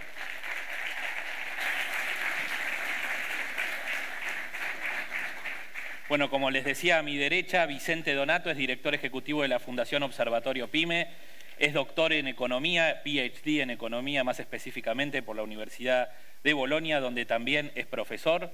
Tiene un magíster en desarrollo económico y un posgrado en teoría económica. Es así, ¿no? Sí, así es. Muy bienvenido. Gracias. Fernando, a mi derecha, es director del programa de bioeconomía de la Facultad de Agronomía de la UBA, es ingeniero agrónomo, es profesor titular de la Cátedra de Agronegocios de esa facultad y es asesor del Ministerio de Agroindustria. Además, es autor de 15 libros. Sí. Bienvenido, Fernando. Ah, gracias. Y a mi izquierda está Enrique Mantilla, presidente de la Cámara de Exportadores de la República Argentina, es vicepresidente también de la Fundación de la Bolsa de Comercio de Buenos Aires, donde es también consejero y es abogado. Así que tenemos una variedad, ingeniero, abogado, economista. Fernando, la primera, el título del panel es El desafío de estar preparados. ¿Estamos preparados para la guerra comercial que hay hoy en el mundo entre Estados Unidos y China y esta tendencia al proteccionismo, sobre todo Estados Unidos? Bueno, hay, digamos, heterogeneidades, no todo es igual. Eh, hay, hay, ciertos sectores como el agro, el agro extensivo, que tiene una competitividad tan grande que este, es capaz de que le saquen una parte de sus ingresos para poder exportar. Esto fue la historia de las, eh, retenciones y bueno, hacia adelante eh, siguen todavía para, para, el rubro más relevante, que es el caso de la soja. Ahora, eh, y hay otros sectores que están en, menores condiciones de competitividad. Pero cuando uno observa qué está pasando, digamos, que, hacia adelante, qué viene ocurriendo, hay un fenómeno que quizás este, pueda, pueda servir para entender algunas cuestiones. O sea, en noviembre en China se celebra el Día del Soltero, el 11 de, de, noviembre. 1-1-1-1, todos solos. Este, bueno, pero ese día se vendieron este, en, China eh, regalos por 26.500 millones de dólares. El 90% por Internet y el 90% lo vendió Alibaba. Así que Alibaba ese día facturó como media Argentina casi el año pasado en sus exportaciones. Es un hot sale en serio, digamos. Sí, bueno. Ahora, en ese día productos argentinos estaban entre los, los elegidos, pero lamentablemente a las 2 de la mañana se acabó el langostino congelado argentino y a las 3 el vino Malbec argentino. O sea, se podía haber exportado 12 veces más cantidad de langostino o 8 veces más cantidad de vino Malbec. Ahí hubo algo que fracasó allí, digamos. Ahí. Entonces, los aprendizajes son que había productos elegidos, eh, pero hubo una logística y, una, y, un comportamiento comercial que no estuvo a la altura de ese, esa demanda tan relevante que para tener una imagen de, de, qué estamos hablando, ese, el Black Friday americano, también en noviembre, fue de 4.000, no de 26.000. ¿no? Estamos hablando de un mercado seis veces más relevante, pero además una conducta de compra a través del Internet, tal como mencioné, un pago a través de eh, los celulares, no en efectivo, no con tarjeta. Digamos, esto cambia la, perspectiva de qué está pasando con los grandes consumidores y deberíamos adecuarnos a eso, que más temprano alguien dijo de eh, un requisito ineludible, que es trazabilidad y certificación de esa trazabilidad. Vicente, en tu caso vos tenés un diagnóstico en esta falta de, a veces, cantidad de exportación que falta en la Argentina, que es la cantidad de empresas. Hay unas 850.000 pymes en Argentina, que son el 95% de las empresas, más o menos, pero solo 6.000 exportan. Sí, así es. Y creo que hay que tomar conciencia de la dimensión, de la pequeñísima dimensión que tiene el sector empresarial en Argentina, porque es un límite estructural muy grande al crecimiento. Estoy totalmente de acuerdo con el diagnóstico inicial que se hizo y yo creo que justamente sin mayor natalidad empresarial, sin mayor crecimiento de las empresas, Argentina no va a poder pasar del 10%, del 12% de participación de las exportaciones en el producto al 22%.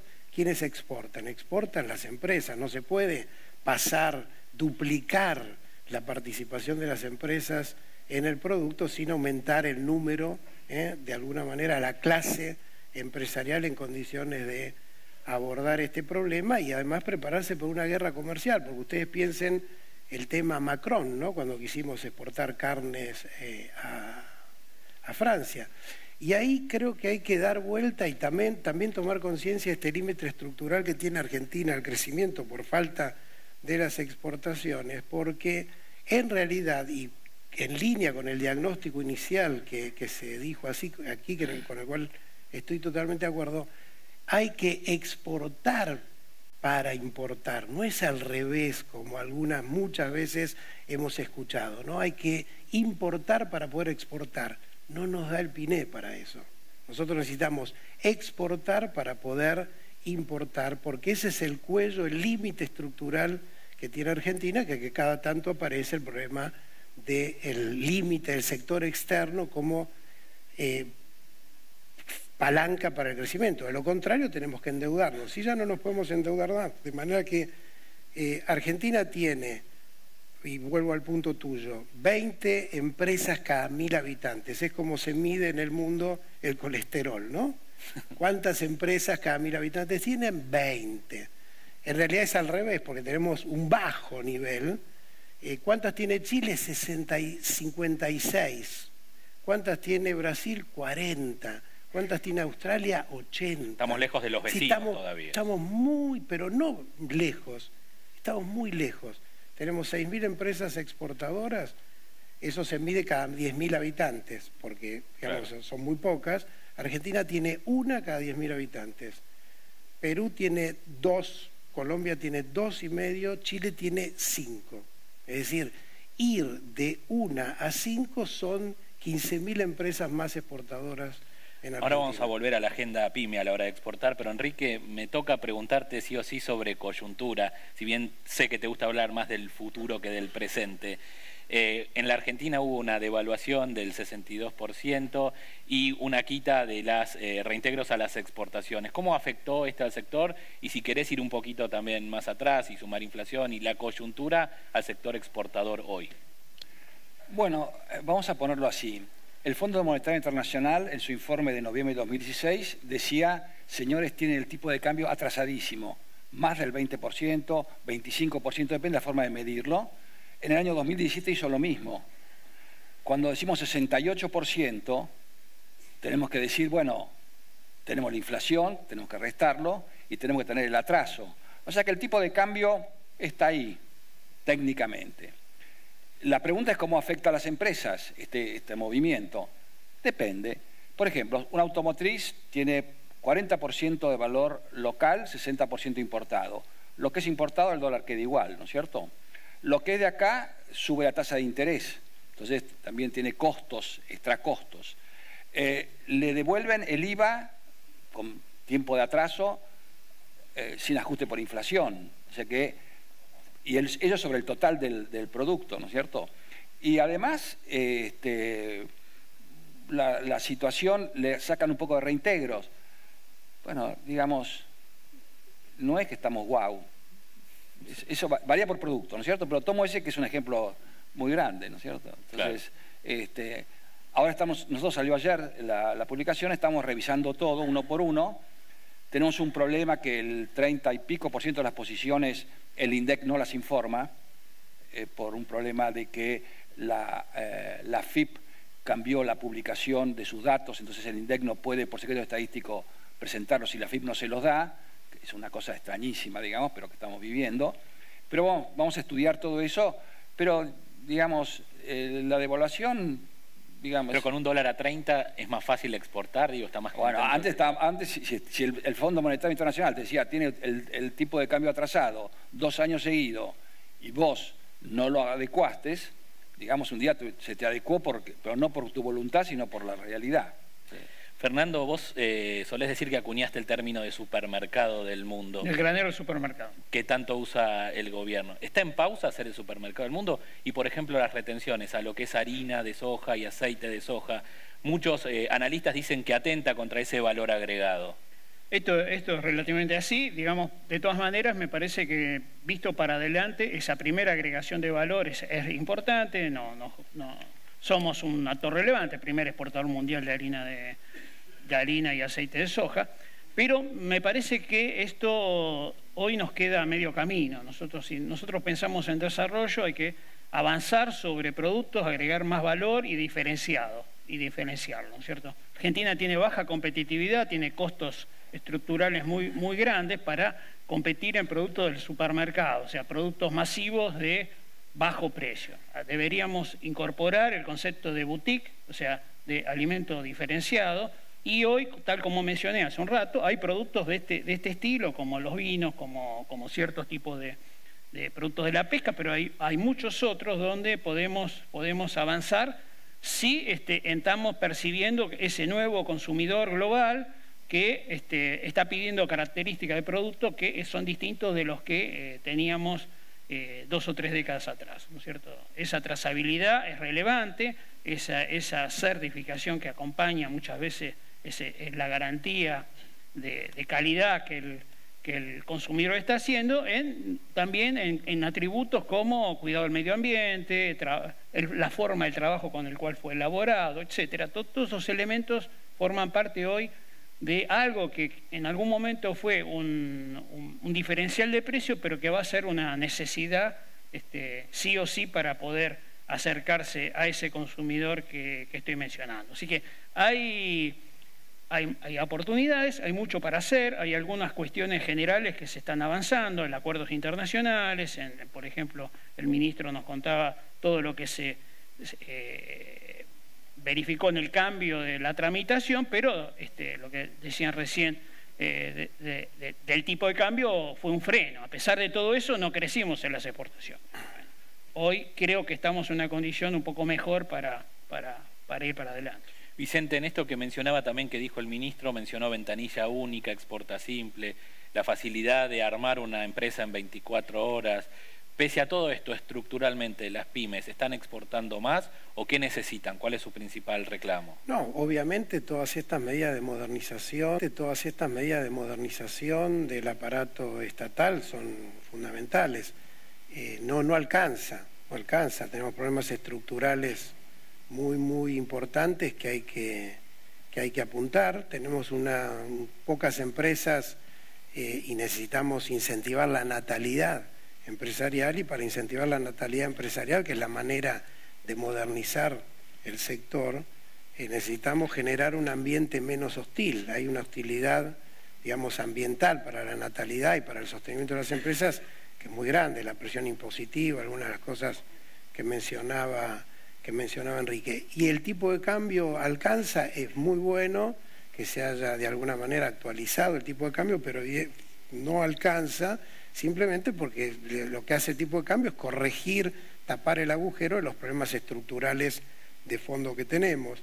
¿Y dónde vemos desde la Fundación un los problemas estructurales? Por ejemplo, en la evolución de los precios de exportación de las pymes, lo que se llama los términos del intercambio industrial nuestros precios de exportación de las pocas empresas que exportan crecen mucho menos que los precios de las importaciones que hacen las mismas empresas. En cinco años, el, poder adquisitivo de las exportaciones de nuestras empresitas, menos de estas empresas chicas, eh, cayó el 20%, es decir, la, la posibilidad, eh, el poder adquisitivo de las exportaciones viene deteriorándose. ¿Y por qué se deteriora? Justamente porque aunque aumentemos el tipo de cambio, si no aumentamos el nivel de inversión y de modernización de las empresas, esos precios de exportación vamos a seguir ocupando cada vez nichos de menos valor eh, agregado y entonces no vamos a poder resolver. Hay dos temas que hay que resolver. Uno es la modernización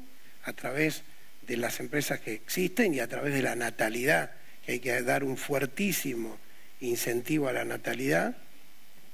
Y el segundo problema es la modernización de las empresas en lo comercial. Tenemos un problema, vos lo mencionabas muy bien, tenemos un problema, una estructura de pymes que exportan, pero exportan solas, no están coordinadas, y algunos países han resuelto justamente este problema a través de acuerdos eh, de trading companies, de consorcios de exportación, como han hecho los italianos. Y sí, hay mucho que hacer para juntarle la cabeza a estas pocas empresas, pero que están demasiado dispersas y los mercados internacionales, preparándonos para la guerra, no es que la guerra la vencen soldados moicanos aislados en la trinchera, ¿no? Enrique, en este no alcanza que dice Vicente y en esta falta de modernización, ¿qué, es lo que falta estructuralmente? Vos solés hablar de ecosistemas digitales de cara al futuro. Perfecto, vamos a ponerlo así. Eh, hay una serie de nuevas tecnologías en el campo digital, blockchain, para que van a tratar después. Después vas a tener un panel este, específico. Big data, todo ese tipo de cuestiones. Pero hay una, inteligencia artificial, que o casualidad Estados Unidos, China, Francia, Alemania, India y otros países tienen una estrategia nacional de inteligencia artificial definida. ¿Y qué es la inteligencia artificial? Bueno, estos países, ¿por qué hacen una estrategia nacional? Porque dicen, bueno, los factores, los factores de producción, capital, tierra, eh, este, digamos, eh, trabajo, eh, total factor productivity, le agregamos uno nuevo, inteligencia artificial. Tan importante y tan decisivo es. Entonces, Argentina ya sabemos que tenemos una restricción. El gobierno no ha hecho una estrategia nacional de inteligencia artificial. Estamos con una restricción. ¿Podemos hacerla? Sí, pero no la hemos hecho por el momento. Y eso es sumamente importante porque funciona, digamos, eh, como un elemento central del futuro. Eh, eso es el, punto que uno se llama, a veces la, la atención, como no hacer una estrategia nacional, porque requiere esfuerzos del sector público, empresas, academia y, sector social, privado, ¿no es cierto? Y eso tiene un impacto fuertísimo. Voy al caso del blockchain, que lo van a atacar acá. Yo estoy en, en febrero de este año, París, un supermercado conocido. Saco mi teléfono, la pongo en la pechuga de pollo y tengo la trazabilidad hasta el día que nació, en qué huevo, ¿no es cierto? ¿Quién le dio de comer? ¿Qué comió? ¿Cuánta trazabilidad tiene de glifosato? Y, todo así. Ahora, eso lo hace la primera vez, después lo hace todo el tiempo. Pero entonces él confía en ese canal comercial y entonces el canal comercial que hoy vende en marca blanca 10% de sus productos, dice, no, como yo te garantizo a vos tu salud, tu seguridad, yo voy a venderte más productos. Se da vuelta y me dice, ¿sabes qué? No, tu producto no, trabajemos a Fasón. Y entonces tiene bastantes sectores diferentes para hacerlos competir a Fasón. Por otro lado, yo tengo que ponerme en tener la trazabilidad mía para atrás. Tengo que saber, como él planteaba todo el tema de la miel, de dónde vino, en qué tambor, cómo se em, em, embaló, cómo fue, toda la logística. Tengo que tener todo eso. Si no, afuera. Auli en Alemania, con el tema del glifosato, le dice a la gente, nuestros productos tienen 30% menos de trazabilidad de glifosato, nosotros cuidamos su salud, somos su garante, le damos poder al consumidor.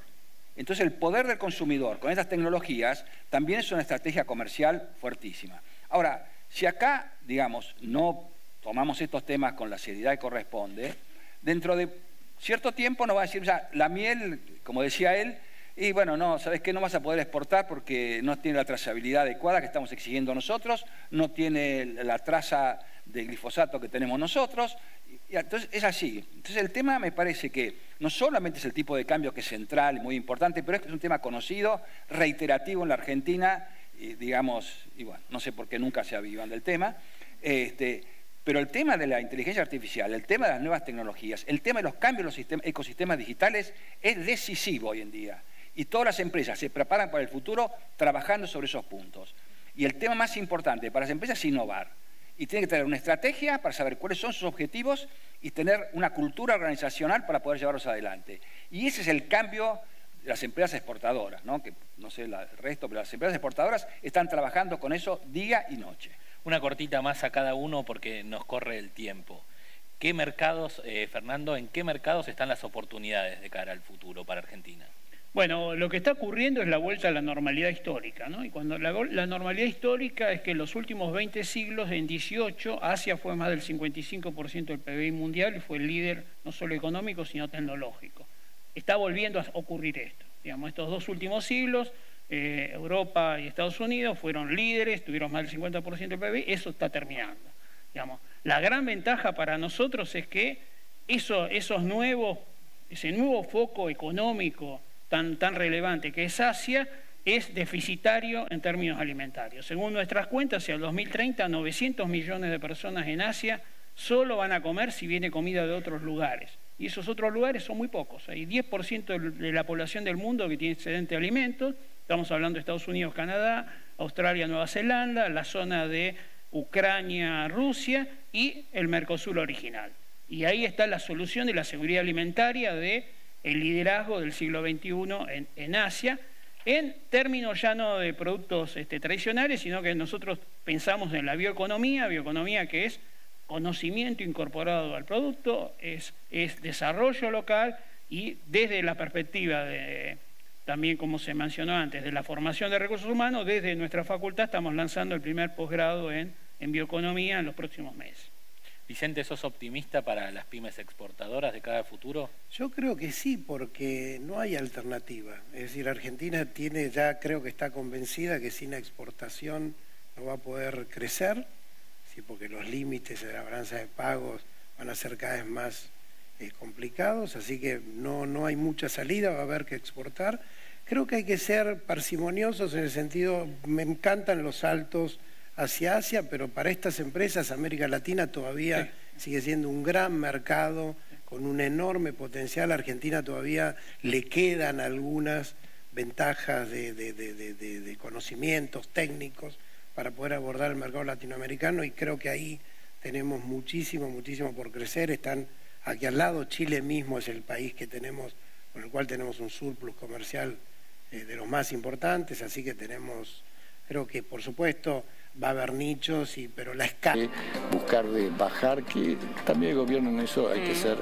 Eh, eh, hace ese tipo de cosas, es buscar de hacerlo lo más simple posible poder exportar eh, pero de vuelta, cuando hablamos de dólar, estamos hablando de tener un valor de equilibrio, o sea, que este valor no baje, porque si no vamos a estar lo mismo que hace un año y medio o dos años. Este es un dólar que se puede exportar.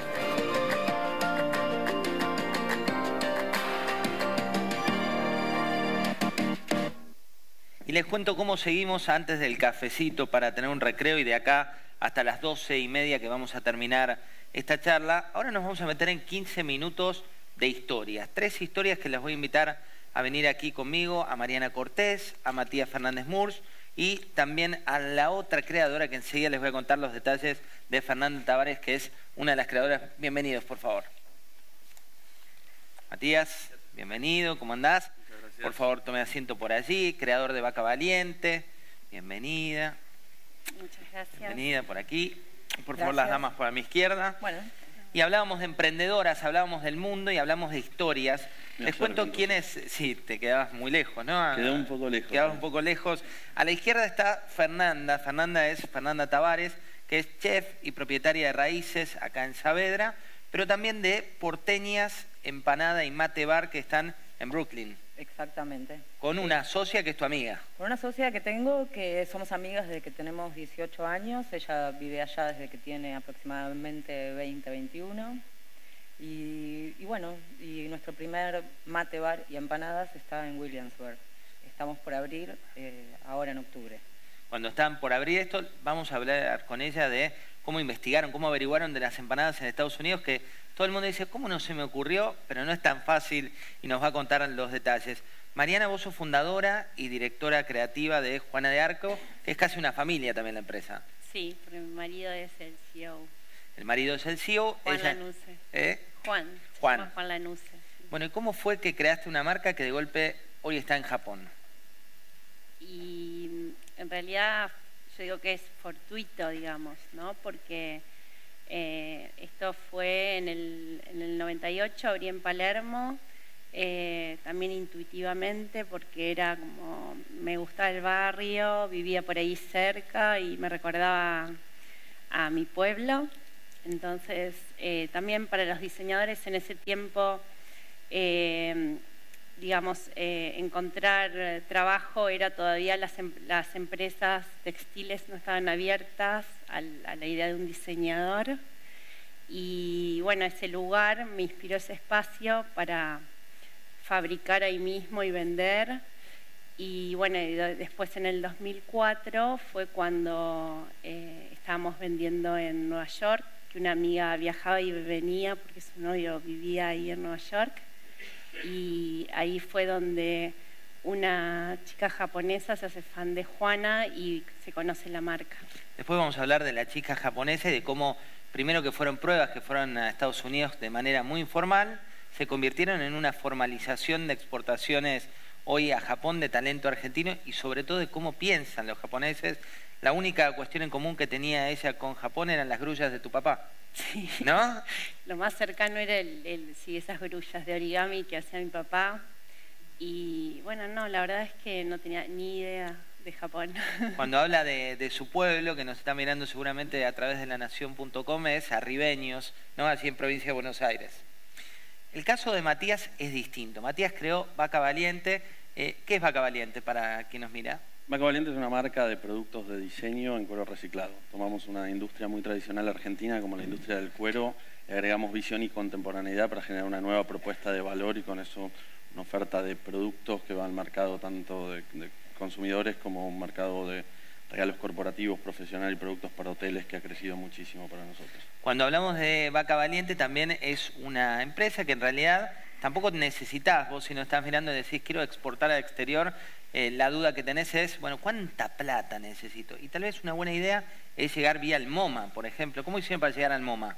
Nosotros tuvimos muchísima suerte desde el principio, fue nuestra primera plataforma de promoción comercial, eh, con mucho viento a favor, si querés, el MoMA justo en ese momento estaba lanzando una campaña de productos en, los design stores en, Nueva York que se llamó Destination Buenos Aires, para lo cual se asocia con el Malva eh, como curador de diseñadores en Argentina. Nosotros fuimos uno de esos diseñadores, 12 diseñadores argentinos, y el canguro, uno de nuestros productos más emblemáticos y uno de nuestros embajadores, termina siendo una de las imágenes de la muestra, una gigante. Este, que te da energía, que es saludable y la idea es eh, enamorar a los paladares americanos para que, para que lo prueben, para que se enamoren como nosotros, para que, para que lo consuman y para que lo tomen como un hábito. Para eso desarrollamos blends completamente diferentes, eh, adaptados a, a otros paladares que combinan yerba mate o con frutas secas o con cacao o con caramelos de chocolate, o sea, hay una idea diferente de lo que es la yerba mate para nosotras. Y, bueno, y trabajamos, y además la yerba mate es muy versátil, se pueden hacer un montón de productos. Eh, flanes de yerba mate. Ahora el flan está de moda, ¿eh? Ahí no, ahora no digas flan porque se politizó. Podemos Decís hacerlo flan de y se mate. convierte, viste, de golpe te aparece casero, no eh, sé. Creme brûlée, helados, cervezas, infusiones, gaseosas, o sea, todos esos productos estamos desarrollándolos, porque la gente a veces dice, empanadas con yerba mate, mm, no pega, no, pero nosotras estamos pensando en otro tipo de, de de infusión que va a acompañar a las empanadas. No solamente el mate como lo conocemos nosotros. Va a haber ese mate tradicional, pero va a haber un mate completamente eh, nuevo, renovado. Ahí nos trasladamos a Brooklyn. Cerca en Estados Unidos también se da esta primera experiencia donde una clienta japonesa dice, qué linda la ropa de Juana de Arco. ¿Y qué pasó con el perchero y qué pasó con el que fue tu principal comprador después? Claro, esta ropa era ropa interior, porque también nosotros a partir de, los recortes de mis primeras colecciones, en el pleno 2001 también empiezo a hacer con esos recortes ropa interior multicolor, que es lo que tiene mucho éxito y empiezo a hacer un patch de colores y también con recursos que encontraba acá en Buenos Aires, que era industria argentina. Entonces, em, esta fan, eh, digamos, eh, Takanao Muramatsu, que es el jefe de la compañía de HP France, que es la compañía que nos compra. ¿Tiene un apodo ya? Taka. Taka, lo simplificamos a partir. si te tenía que repreguntar sobre Takarada. Sí, tuve que pensar bien para no equivocarme el nombre. Sí, Taka. Taka eh, lo conoce a Martín Churba, que también Martín fue a mostrar sus diseños en, su a su oficina porque él tenía una oficina ahí en el, en el eh, Meatpacking, y entonces, eh, bueno, dice, te acabo de ir a Buenos Aires. Entonces, eh, una de, digamos, de, las chicas del grupo llama a su, a su grupo, les dice que va a ir a Buenos Aires, entonces dije, bueno, si vas a Buenos Aires también busca a Juana de Arco. Y, bueno, y hacía una semana que yo había contratado a una amiga de yoga para exportar. No sabíamos que íbamos a exportar. Una amiga de yoga para exportar, todo se está tornando más o menos interesante. No sé, respiraban y dijeron vamos a exportar. Sí, le, eh, digo, bueno, estoy muy estresada, tengo mucho trabajo. Y me dice, yo te puedo ayudar, pero ¿en qué me vas a ayudar? me dice, yo soy economista. Bueno, Victoria Lamdani. Entonces, digo, bueno, entonces, ¿y qué podemos hacer? Y bueno, exportemos. Bueno, y entonces después Así como la quiere la cosa, bueno, dale, ¿qué hacemos? ¿Vamos a tomar un café? No, vamos a exportar. A la semana dice, ah, me llamaron, y llamaron a Juana por el teléfono fijo. ¿De dónde? De Nueva York. Viene un empresario japonés a comprar. Ah, bueno. Ahora vamos a volver a Taca, ¿eh? Ténganlo a Taca ahí porque de golpe Taca. vino y Taca Taca, ¿no? Pero vamos a hablar, Matías, concretamente de esta llegada. Cuando ves tu canguro, que para quienes no lo tienen es un cangurito de este tamaño, de cuero, el icono es más tendiente a colorado. Soy medio malo de los colores, pero tendiente a colorado. De golpe te ves en el, en el MoMA con una gigantografía de tu producto. ¿Qué dijeron adentro en la empresa? Adentro para nosotros fue una explosión de, satisfacción tremenda. De vuelta estaba llegando a uno de los eh, lugares más, eh, más difíciles de alcanzar o la meca de, los lugares que había que ver. Pero lo increíble empezó a pasar después de eso.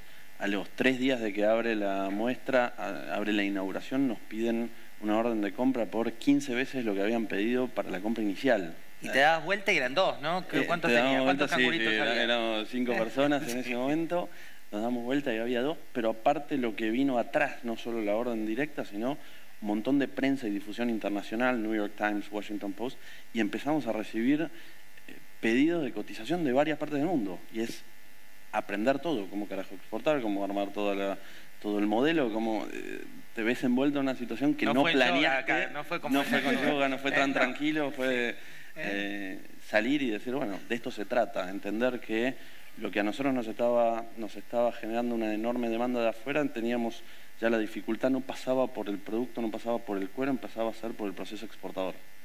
Cómo generar una oferta de productos exportables y cómo hacernos cargo de que Argentina está muy lejos y es una de las principales barreras que enfrentamos muchas veces, que no tiene que ver con la idiosincrasia nuestra interna, sino es una realidad y es una barrera que no solo es desde el punto de vista de los costos logísticos tiene que ver con barreras psicológicas que muchas veces tienen los consumidores. Y para poder generar una estructura sustentable de exportación tuvimos que ver cómo minimizábamos esa barrera psicológica en la mente de los clientes. Y la mente de los clientes que quieren tomar mate con chocolate, sea, con frutos secos, y compartirlo con empanadas, cuando vos decís estudia el mercado, porque no fue improvisado, estudia el mercado de empanadas en Estados Unidos, ¿qué te dio de resultado? Em, alrededor teníamos algunos restaurantes argentinos que vendían solamente dos o, tres gustos de empanadas eh, a, precios bastante elevados. Y, bueno, queríamos mejorar la oferta, hacer una empanada de mejor calidad, eh, más gustos, ayornadas al paladar americano y mm, que fueran más baratas. Más baratas porque el promedio de lo que hay en Estados Unidos está en 5 dólares. Sí, entre 5 y 6 dólares. ¿Y las de ustedes? 4 dólares. Bueno, también un dólar está muy bien.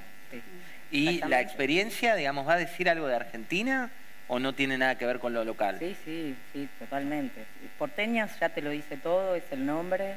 Eh, hay empanadas eh, que son de gusto argentino, como las empanadas cortadas a cuchillo, pero también hay otras empanadas que están ayornadas al gusto de, de los americanos que intentan tener esas em, comidas eh, que más les gusta comer dentro de las empanadas. Por ejemplo, barbecue ribs dentro de una empanada, o pollo Kentucky dentro de una empanada, o um, cheese dentro de una empanada. O sea, todas las empanadas están pensadas en, función del paladar americano también. Esa es la otra experiencia al momento de exportar, customizar. ¿Se acuerdan cuando vino acá en su momento Pizza Hut, que trajo, tuvo un formato, pero no, no se adaptó, o Dunkin' Donuts, por citar algunos ejemplos, vos lo que buscás es cambiar también al paladar de ellos. Sí, hacer un poco de lo nuestro y también adaptarnos al paladar de ellos. Es, esa es el juego, la flexibilidad que uno tiene que tener a la hora de emprender, ¿no? Tratar de entender el mercado y tratar de enamorarlo de alguna manera enamoraste al señor Taca, ¿eh? que llegó ahí, lo teníamos por el local diciendo, quiero comprar, sonó el teléfono fijo, ¿y qué pasó después? Bueno, y vino con, eh, con sus asistentes, con un par de asistentes, y mm, compraron todo el perchero que teníamos en Juana Arco. Era como que decía, de estos... Decía, dame tres. Sí, de estos tres, sí, ok. Anotábamos, eran los únicos tres que teníamos, porque no teníamos stock. De estos, estos sí, bueno, sí, sí, también. Bueno, entonces era todo, bueno, y finalmente se, se llevó todo el perchero, que eran 7 mil dólares. Y, y bueno, y fue, digamos, la reunión fue un éxito, tuvimos buena onda, digamos, así como que él le, gustaba todo lo que le contábamos. Y después, a los cuatro meses, por ejemplo, aparecieron, nos llamaron de Tokio como alguien responsable, porque lo que hace Taka es por ahí viajar y va mandando cosas que le gustan a Tokio, y entonces hay alguien que recibe y recibieron, recibieron la caja de Juana de Arco y no entendían nada que era esto. Entonces que estaban interesados en, hacer un pop-up, que en ese tiempo yo ni sabía lo que era un pop-up, entonces nos hicieron diseñar eh, como si fuese un local de un shopping eh, para probar Juana de Arco y, nos hicieron un pedido formal.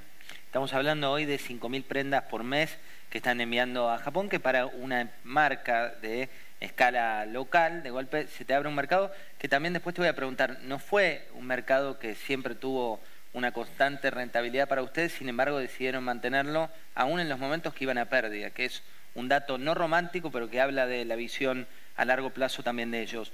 Eh, última para ti, Matías, tiene que ver con este mercado. Te suenan las notas, eh, New York Times, aparecen por todo el mundo. ¿Cómo cambió la escala y cómo lograste que la producción finalmente abastezca a una demanda que no esperabas? Eh, y nosotros tuvimos dos procesos. Eh, la primera etapa de la compañía, que fue el primer crecimiento, después hubo un periodo de cambio societario y, una segunda de crecimiento en, estos últimos cinco años, que fue, que fue, muy distinto.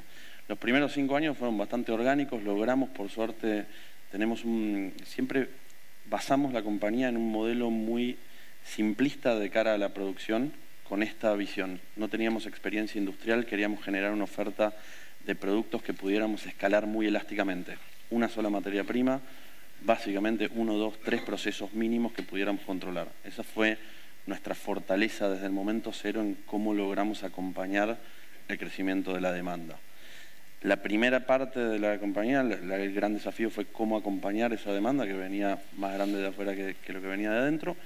Y en esta segunda etapa viene mucho más de cómo logramos nosotros empezar a mantener la promoción comercial, esto que hizo el MoMA por nosotros en algún momento de una manera bastante eh, fortuita, con viento a favor, hoy nos implica enormes eh, inversiones y decisiones y, aplicación de recursos en ferias comerciales, en estar afuera, en la presencia, la construcción de la exportación, tal como destacaba con las chicas, es eh, una construcción de largo plazo, en la que tenés que tener una gran visión eliminar la, incertidumbre o la volatilidad de corto plazo y estar mirando siempre a largo plazo. Eso fue una de las eh, estrategias que a nosotros nos permitió seguir creciendo siempre en el tiempo de cara a la exportación. Fernanda, eh, raíces en Saavedra con una experiencia bastante retro, porque tenés las heladeras de cuando nuestros abuelos eran chicos, tenés una experiencia también de, volver a las fuentes y empanadas y mate para los nostálgicos y no tanto en el exterior. ¿Cuál es el próximo paso? Em, el próximo paso es abrir em, el primer local en Williamsburg. Eh, estamos en la etapa del seed round, em, buscando inversores. Para eso tenemos un asesor que se llama Guitar Partners y que nos está ayudando en todo lo que es la preparación del modelo de negocios financiero y económico. Eh, en, este, en esta etapa, en el Seed Ground, pensamos eh, en una meta de cinco locales en dos años, eh, afianzándonos en toda el área de Nueva York. Y para Layground... Em, también se sumó hace 10 años Juan como CEO y la visión de él también era que bueno que había que sostenerse que en Argentina siempre es cíclico y que, que digamos que iba a cambiar. Y, bueno, y había momentos que, bueno, no, que no eran todas, digamos, planchas, que no, que no teníamos ganancias, pero sí fuimos como ganando en, en cantidad digamos, en, ese proceso a lo mejor manteníamos, pero, pero fue creciendo el negocio en ese.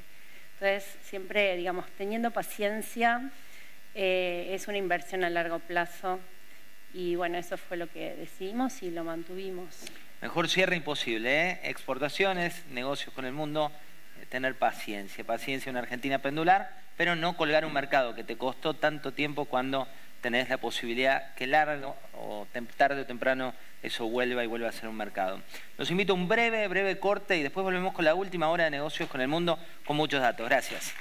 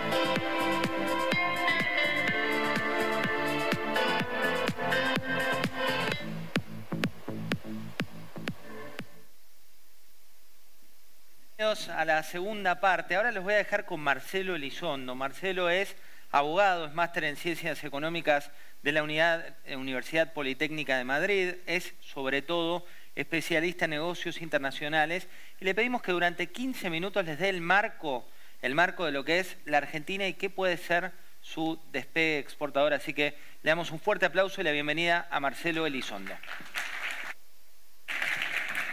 Gracias, José. Bueno, muy buenos días a todos. Muchas gracias a la Nación y al ICBC por la invitación para poder compartir estos minutos con ustedes.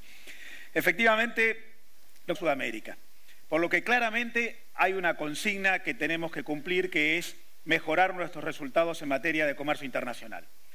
¿Por qué? Bueno, esta no es una consigna vacía, no es que lo tenemos que hacer porque está de moda o porque en realidad estaría bueno. Hay muchos factores que nos impulsan a hacerlo. En realidad hay beneficios probados que tienen los países que más exportan en el planeta. Yo tengo acá algunos de ellos. En primer lugar, está claro que los países que más exportan elevan la calidad de la oferta de bienes y servicios que producen, porque la competencia internacional exige una mejora en los estándares. Segundo lugar, los países que más exportan generan empleo de más calidad, porque las empresas que actúan a nivel internacional formalizan sus recursos humanos e invierten en ellos. En tercer lugar, los países que más exportan incrementan la tasa de inversión. Esto está estadísticamente probado. La Argentina es un país, lo voy a decir en algunos minutos, con una muy baja tasa de inversión. Claramente no tenemos un problema de demanda en el mundo, sino un problema de oferta y elevar la tasa de inversión es una consecuencia de un país que tiene acceso a mercados. La el cuarto beneficio de los países que más exportan es que disminuyen la volatilidad cambiaria, lo cual es muy lógico. Si uno tiene solo dólares financieros, esos que entran fácil pero se van fácil, la volatilidad es mayor. Si uno tiene acceso a dólares comerciales que ingresan y permanecen, la dependencia de los dólares financieros es menor en términos relativos. Y finalmente, claramente, los países que más exportan incrementan el Producto Bruto porque aumentan las exportaciones netas. De modo que este bajo nivel de exportaciones que tiene la Argentina, que no es de ahora, es desde hace mucho tiempo, la Argentina explica el 0,3% de todas las exportaciones mundiales y hace 50 años explicaba el 0,8% de todas las exportaciones mundiales. Ese bajo nivel de exportaciones es algo que tenemos que corregir para acceder a beneficios que nos pondrían en una situación no solo mejor para los exportadores, sino para toda la economía. Ahora bien, ¿cuáles son esos requisitos?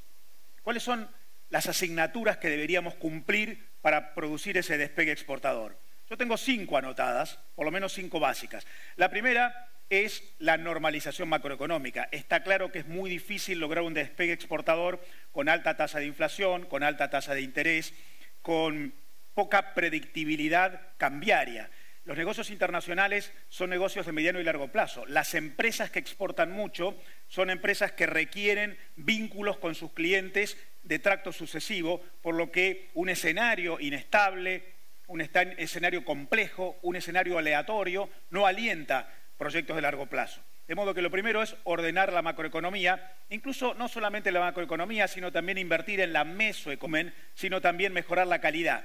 Hay estudios privados que están diciendo que el stock de capital físico en la Argentina, el parque de fierros para producir, es antiguo, tiene una antigüedad promedio de 10 años. La innovación necesaria para la mejora en el comercio internacional requiere una mejora en la tasa de inversión. Está probado que los países que más exportan son países que más invierten. Y no solamente en materia de inversión interna, sino inversión internacional, inversión extranjera. El año pasado la Argentina mejoró mucho su ingreso de inversión extranjera, estuvimos en alrededor de 11 mil millones de dólares. Sin embargo, todavía somos un país con una tasa de inversión en relación al producto baja. Fue poco más de 2% del PBI el año pasado. El promedio en Latinoamérica es 3,5%, por lo que el acceso a mercados nos exige mayor inversión interna bruta fija y también eh, una mayor eh, inversión internacional, sobre todo para un país que tiene baja tasa de ahorro institucionalizado. Tercer requisito para el despegue exportador, crear capital relacional internacional, o sea, generar un marco normativo de vínculos entre el Estado argentino y Estados extranjeros que permita un escenario institucional más favorable para las empresas que hacen negocios. Ustedes habrán escuchado muchas veces que la Argentina es un país que tiene bajo stock de acuerdos de libre comercio, tratados de preferencias arancelarias, acuerdos de complementación económica.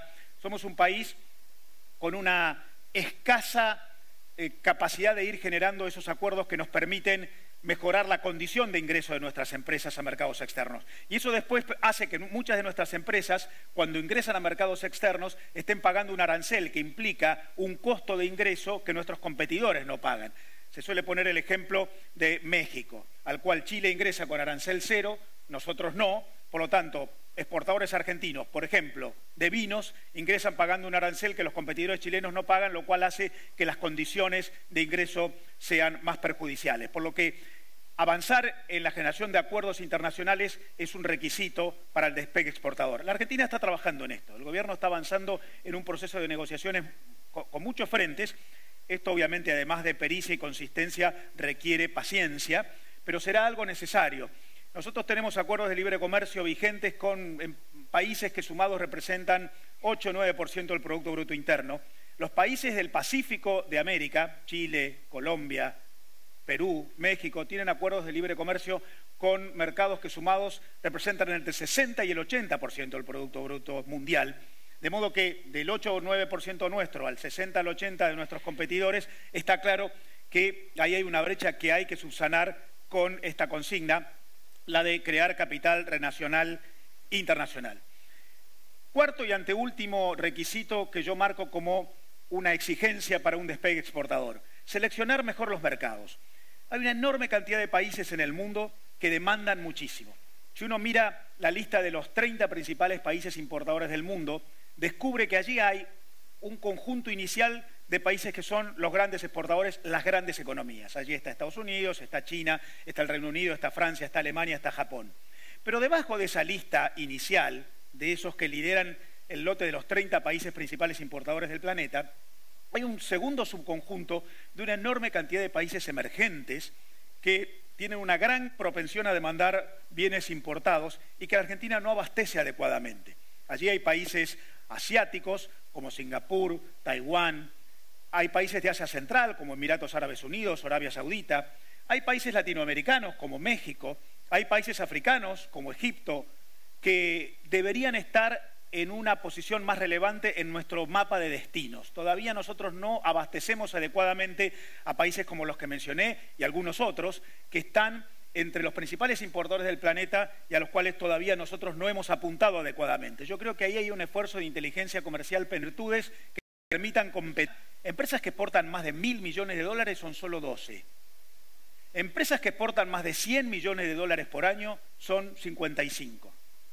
En Argentina una treintena de empresas explica la mitad de todas las exportaciones, que el año pasado fueron poco más de 58 mil millones de dólares. Por lo que claramente, además de más empresas exportadoras, lo que necesitamos es que las exportadoras hagan negocios más voluminosos, que logren más capacidad comercial, lo cual los llevará a tener más éxito y a permanecer de manera estable y sistémica en el comercio internacional. Lo que me lleva a esta segunda parte de la condición de desarrollar atributos, que es la capacidad de ingresar en un fenómeno que ha surgido en los últimos 15 años en el mundo, que es las cadenas globales de valor, que son alianzas, envía solo el 30% de sus exportaciones a las cadenas globales de valor, lo cual implica un efecto de falta de atributos competitivos que tienen que ver con innovación, conocimiento incorporado en procesos productivos, que tiene que ver con arquitecturas vinculares estables, con capacidad de generar reputación o diferenciación en los productos que ofrece. De modo que, en mi opinión, la reinserción internacional, que está pendiente, que los números indican que es un requisito, pero que la Argentina tiene enorme potencial para lograr en distintos rubros productivos, agroindustria, servicios, energía, minerales, algunos productos industriales. Esa reinserción internacional dependerá de condiciones sistémicas. Será comercial, será productiva, será financiera, será política, será cultural y será social. Creo que estamos cerca de hacerlo en la medida en que todos vamos comprendiendo que es una necesidad y que nos generará beneficios. Para eso, entre todos, tenemos que conseguir tres grandes condiciones. Capital institucional, un marco de referencia político y normativo adecuado. Capital relacional, la capacidad de vincular las empresas entre sí para que trabajen juntas, nadie sale al mundo solo. Y capital organizacional, eficiencia y productividad en cada uno de los actores económicos. En definitiva, las que exportan son las empresas. Muchas gracias por la atención.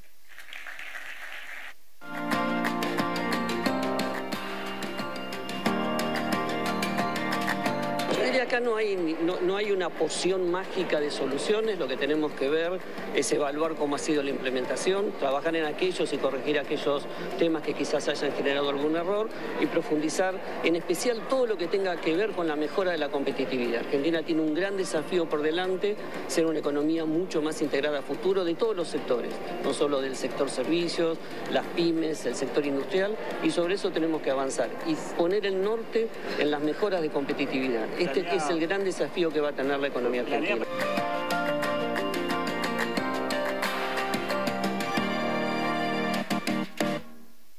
Bueno, muchas gracias Marcelo Elizondo, siempre muy claro y siempre es un lujo tenerlo acá con nosotros, así que muchas gracias. Y ahora vamos a seguir eh, con pymes y el reto de la internacionalización. Vamos a ahondar en tres casos específicamente de pymes que salieron al mundo y también una experta del banco ICBC nos va a contar eh, la importancia de que tienen en común estas empresas que son casos de éxito y que merecen ser premiadas. Les recuerdo, el hashtag es hashtag mundo y les cuento también que ya hay más de 255 mil reproducciones en el mundo online, así que además de su presencia nos están viendo en todas las plataformas. Y ya les doy la bienvenida a los integrantes de este panel. Paula Ortega, por favor, adelante, gerente de productos de comercio exterior del banco ICBC. Por favor. Esteban Lombardía, presidente del directorio de Terragene, un laboratorio, adelante. Antonio Bousada, presidente de Riochem, otro laboratorio. Y Martín Castelli, presidente de Todo Moda Isadora. Por favor, tomen asiento. Muchas gracias por estar con nosotros. Bueno, les cuento un poco quiénes, quiénes son. Como les decía, Paula es gerente de productos de comercio exterior en ICBC, es ingeniera industrial, eh, por la Universidad de Buenos Aires y estudia sociología también ahora. Es una nueva parte de su vida. Eh, a mi derecha está Esteban Lombardía, presidente de Terragene, estudió en la Universidad de Misiones, es licenciado en genética, ¿verdad? Sí, así es. Y es becario doctoral en CONICET y con Adrián Robeto fundó la empresa en 2006. Exacto.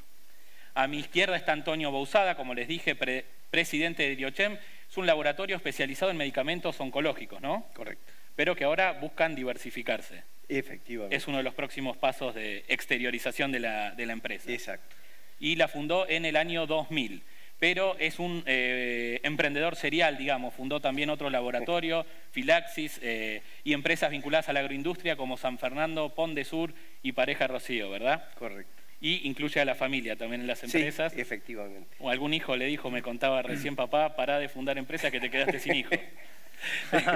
Yo le dije que si quería que seguía, pero la madre no quiso. La madre Martín Castelli, en el extremo izquierdo, es presidente de los accesorios de moda con las marcas Todo Moda e Isadora. La fundó en 1995 con su padre Carlos y su hermana Mariana. En 2008 crearon la división de negocios internacionales, si bien ya exportaban o tenían presencia en México, me comentaba, y estudió eh, sistemas en la Universidad de KS y además siguió estudiando administración de empresas y management en el IAE. Antonio, ¿cómo es esto de que exportaron por primera vez un medicamento a Estados Unidos? ¿Cómo fue el proceso de entrar, pero también el proceso de romper barreras de costos y salir de la Argentina? Bueno, a ver, fue un proceso larguísimo, como son todos los procesos de exportación. Los procesos de exportación cortos son, eh, son eh, la verdad, eh, una casualidad del destino. Generalmente los negocios de exportación son fruto de trabajo de larguísimos años, donde uno tiene que alinear tecnologías, tiene que alinear marketing, tiene que alinear estructuras, documentación, gente, gente sobre todo. Eh, nosotros la primera exportación uh, a Estados Unidos y a países, eh, digamos, eh, relevantes a nivel regulatorio, la hicimos en el año 2004, exportando ingrediente activo farmacéutico. A ver, ¿se entiende qué diferencia hay entre ingrediente activo farmacéutico y un producto inyectable listo para el uso humano? ¿no? A ver, eh, uno es, digamos, digamos, la harina y el otro es el flan. No sé si el flan se hace con harina, pero está de moda el flan. Eh, eh, entonces, el flan es más controlado que la harina, porque la harina es una materia prima. Entonces, esto empezamos a hacer en el año 2004.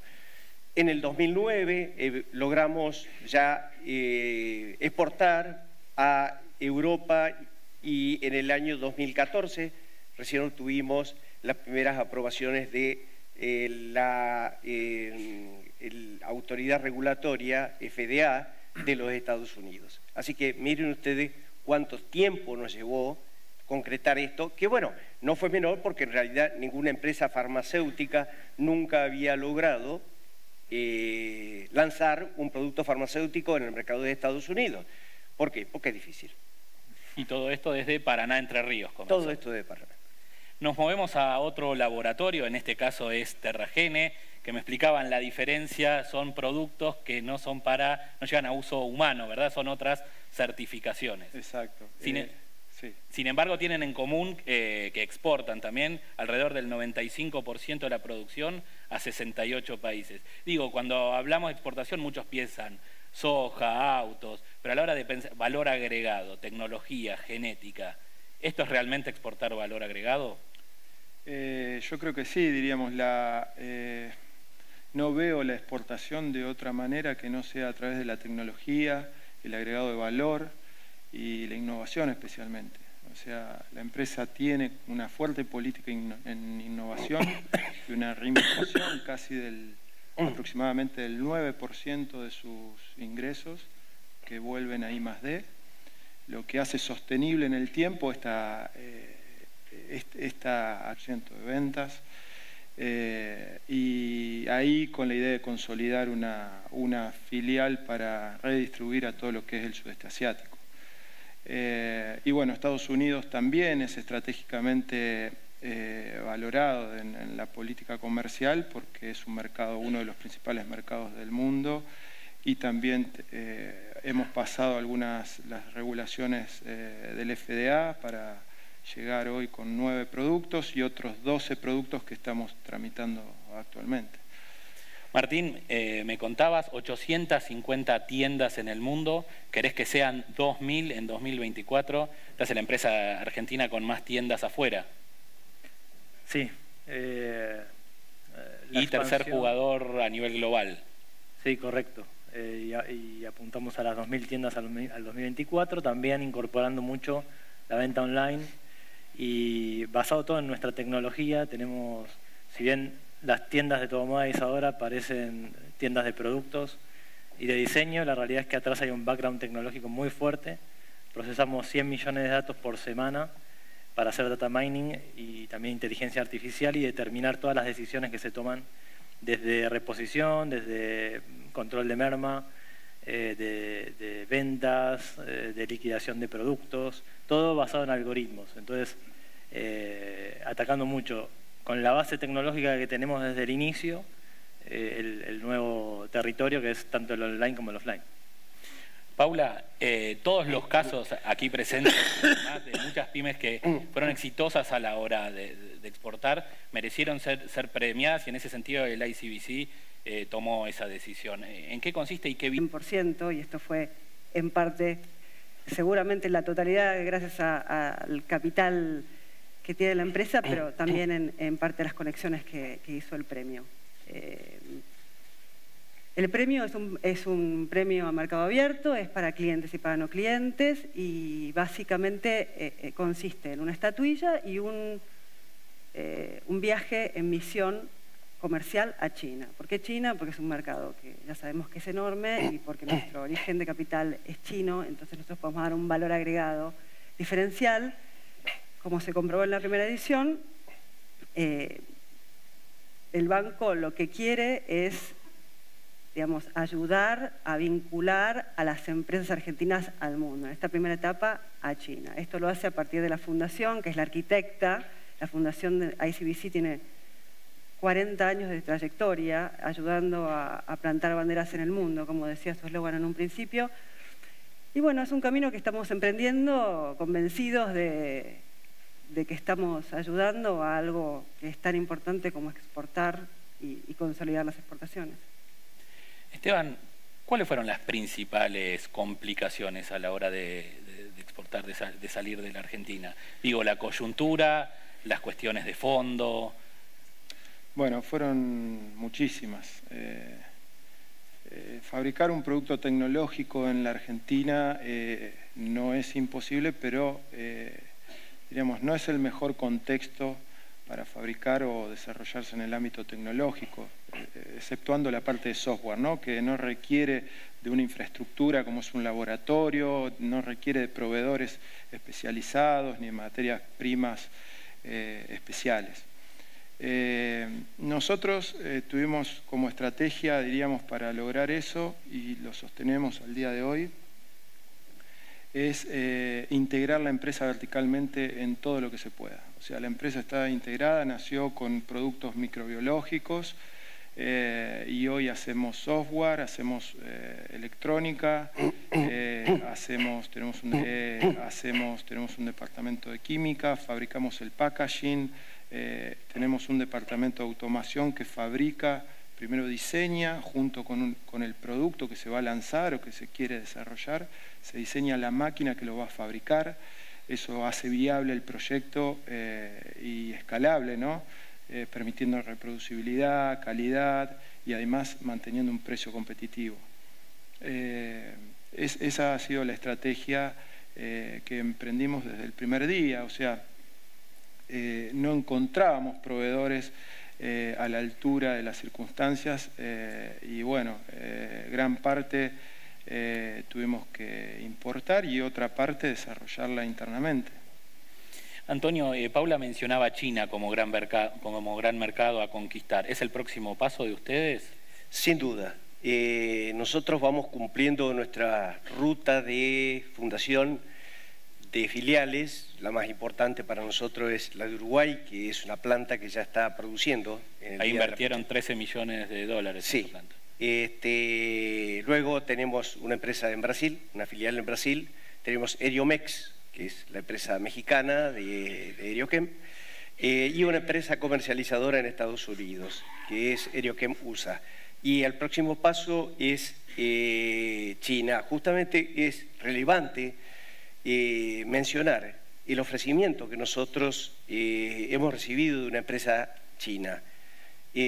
Básicamente, Erioquem fabrica medicamentos, pero esto es ver el resultado final o el, el, final de la película. En realidad lo que nosotros fabricamos todos los días es calidad y tecnología, que es la combinación para obtener un medicamento apto para para que sea consumido en los mercados más, este, exigentes del mundo.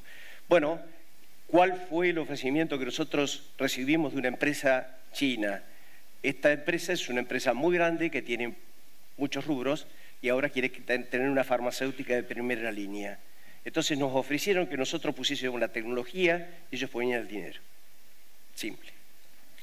Martín, me contabas eh, todo Moda Isadora es una empresa que hoy factura 330 millones, pero que planean que facture mil millones. Hablabas de los 2.000 tiendas afuera y todo esto sin modelo de franquicias. ¿Cuál es exactamente, primero por qué sin franquicia, esa como negación y en qué modelo se basan?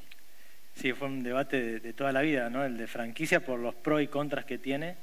Eh, la realidad es que optamos por la operación directa porque ese, grip sobre la, operación, sobre el resultado, eh, es mucho más importante tal vez que el crecimiento explosivo. En, nuestro caso nos interesa más esa, vía. Eh, y también con la franquicia se confunde un poquito quién es el cliente final. Tal vez en lugar de ser el verdadero cliente que te compra el producto pasa a ser un franquiciado y se desvirtúa de alguna manera todo el manejo del modelo. Es un modelo basado en la buena gestión, el nuestro, y no basado en la auditoría y también es sensible, porque a veces, de hecho, tenemos 25 mails por día de solicitud de franquicias y, no otorgamos franquicias. Y muchas veces son familias que tal vez el ahorro de toda su vida, de toda su vida lo ponen en una, en una tienda y, es bastante sensible porque es, eh, hay que tener una responsabilidad especial por eso. Eh, y hay locales que nosotros con 850 tiendas todavía abrimos algunas y nos equivocamos imagínate si un franquiciado que pone los ahorros de toda su vida y la tienda no funciona, no, nos sentimos cómodos con el modelo, pero, pero desde ya que tiene un montón de pros en cuanto a la expansión, el crecimiento, y, eh, que, son, son muy potentes. Paula, y en tu experiencia, ¿cuáles fueron las principales dificultades que tenían estas pymes que fuiste conociendo a la hora de, exportar? Mira, las principales dificultades que tienen las pymes y, cualquier empresa que quiera hacer una inversión a largo plazo son las condiciones poco previsibles que, hoy tenemos. Eh, básicamente, el otro día compartíamos un, informe con, Marcelo Elizondo justamente de de cuáles eran los problemas a la hora de, emprender o de, exportar y teníamos eh, en primer lugar a, la inflación, segundo a la, carga impositiva, tercero a la seguridad jurídica y cuarto el acceso al crédito. O sea que en realidad creo que nos anotamos con todos en Argentina. Básicamente eso es lo que veo completado con el tema de la falta de acuerdos comerciales de libre comercio. Nosotros en los últimos años estuvimos muy volcados al Mercosur, vendiendo casi todo con una estrategia de venta interna y nos faltó como país o como Mercosur hacer más tratados de libre comercio internacionales, que se hicieron los vecinos. Nuestros vecinos tienen muchísimos mejores arreglos que nosotros y eso hace que a la hora de exportar nosotros partamos con desventaja. Esteban, eh, ustedes emprendieron desde Rosario, en el caso de Antonio también desde Paraná, Entre Ríos. ¿Qué cualidades tiene o qué características tiene también en Argentina exportar desde el interior? ¿Tiene ventajas, tiene desventajas? ¿No estar directamente en Buenos Aires al principio? Eh, no, diríamos, respecto a la exportación, eh, no hay ventajas porque el, gran problema a la hora de exportar es la logística. ¿no? Argentina carece de, una estructura eh, que acompaña al exportador, aún más desde el interior. Eh, eh, es costoso. nosotros hacemos muchos envíos aéreos y no hay gran diversidad de aerolíneas y vuelos y conexiones, menos aún cuando uno requiere un producto eh, con tratamiento especial como puede ser un refrigerado, por ejemplo, eh, ahí empiezan los problemas. O sea, las trabas aparecen en la medida que se complejiza el, envío ¿no? o la exportación. Y desde el interior es más difícil y más costoso. Eh, hemos, o sea, la gran mayoría, de salvo lo que es Mercosur, que sale por, por el aeropuerto de Rosario, todo viene a y y bueno, se consolida acá en el caso que haga falta. O sea, ahí ya hay un flete adicional, hay que combinar los, los, fletes porque no son todos los días y bueno, creo que ha ido mejorando eso en el último tiempo, pero le falta mucho. Antonio, en, su caso también tienen 11 patentes en 34 países, algo así son, son, los números. ¿Esto es también exportar conocimiento más allá de, los productos? ¿Es valorado este conocimiento argentino? A ver, eh, yo creo que cada empresa para ser exitosa tiene que tener su propio ADN, como los seres vivos, porque una empresa es un ser vivo, está compuesta por seres humanos, fundamentalmente. entonces, eh, yo creo que el, ADN de Erioquem es justamente eh, la globalización de sus mercados. Entonces, esto es una, marca de origen que tiene Eukem y lo tuvo siempre, desde el primer día. Eh, la pregunta final. Si es valorada la marca argentina en cuanto a conocimiento en, el exterior. Eh, nosotros, nosotros estamos en un nicho de mercado que está gobernado por las grandes empresas multinacionales. Por tanto, Argentina tiene una ausencia absoluta en, ese, en esa área. Eh, somos la primera empresa argentina que estamos indagando en, eh, esa, eh, en ese nicho de mercado, que es el nicho de mercado oncológico. hay una empresa de argentinos que se desarrolló en Europa y que ahora nuevamente están aquí, creo que había un representante panelista en un panel anterior, que está haciendo algo bastante parecido pero en realidad la marca argentina en el mercado farmacéutico a nivel mundial lamentablemente no existe. Martín, y en el caso de ustedes que exportan diseño también como concepto, ¿es valorado en el mundo? Digo, ustedes en parte compiten con, costo o en, costo, pero a su vez con, diseño. ¿Ese diseño es, reconocido afuera? En realidad el que te lo reconoce es el mercado al final, porque si tenés buenos diseños con productos a precio muy conveniente y la buena calidad, el mercado te, te elige. Así que te diría que en Argentina tenemos muchísimas ventajas competitivas, que el talento argentino no es una promesa, sino que es una realidad y nosotros que exportamos servicios desde la casa matriz, que está acá en Costa Salguero con 200 personas, eh, está todo basado y gracias a, la capacidad de Argentina, de las universidades, tanto lo profesional en las universidades como lo personal y los valores de nuestras familias. Y también el dinamismo que sufre Argentina constantemente hace que, seamos eh, muy dinámicos, que busquemos siempre mejorar y, esa es una ventaja competitiva. No sé si es reconocido o no, pero no importa, porque al final lo que vale es el producto final y el resultado del trabajo de tanto talento. Paula, hoy nos contaban más temprano que de unas 850.000 pymes, solo 6.000 exportan. Y vos nombrabas entre las complicaciones la falta de financiamiento. ¿Qué, ¿Qué, se puede hacer en materia de financiamiento para que más pymes exporten? Bueno, el, digamos, el tema del financiamiento es un tema de mercado nosotros como el banco más grande del mundo estamos en una muy buena posición para, financiar y de hecho lo estamos haciendo. Eh, nosotros tenemos una cartera enorme de financiamientos en, dólares, en pesos, ofrecemos la posibilidad en, yuanes también, pero bueno, también tiene que ver con, esto que hablábamos antes, la, elección de la pyme que tiene que invertir y que tiene que elegir endeudarse. Las tasas, ya sabemos que son tasas altas, es una elección compleja, es un, es un, panorama que, bueno, hay que ser realmente muy, muy, muy valiente para, para encarar una inversión hoy en día. Y en, esa, en esas pymes que, que, que evalúas tanto, ¿Qué tres cosas tienen, además de esa valentía que decís? ¿Qué es lo más importante que tienen a de exportar? No sé, el equipo que gerencia, eh, ¿qué, tres condiciones les ves como rasgo común? Mira, eh, primero, todas han hecho un excelente estudio de mercado. Se han tomado muy en serio la, planificación y han estudiado bien qué tenían que exportar, si tenían que adaptar el mercado, eh, adaptar el producto, no adaptar el mercado tenían que hacer alguna modificación. Después, siempre se mantienen actualizadas con las mejores prácticas, siempre, en cuanto a procesos, en cuanto a management. Eh, esto quiere decir que estarán innovando permanentemente y tienen en general a la exportación como estrategia fundamental desde un principio. No es que la involucran eh, en una segunda instancia. Eh, pero bueno, básicamente exportar, sobre todo para los que están empezando, es tiempo y esfuerzo.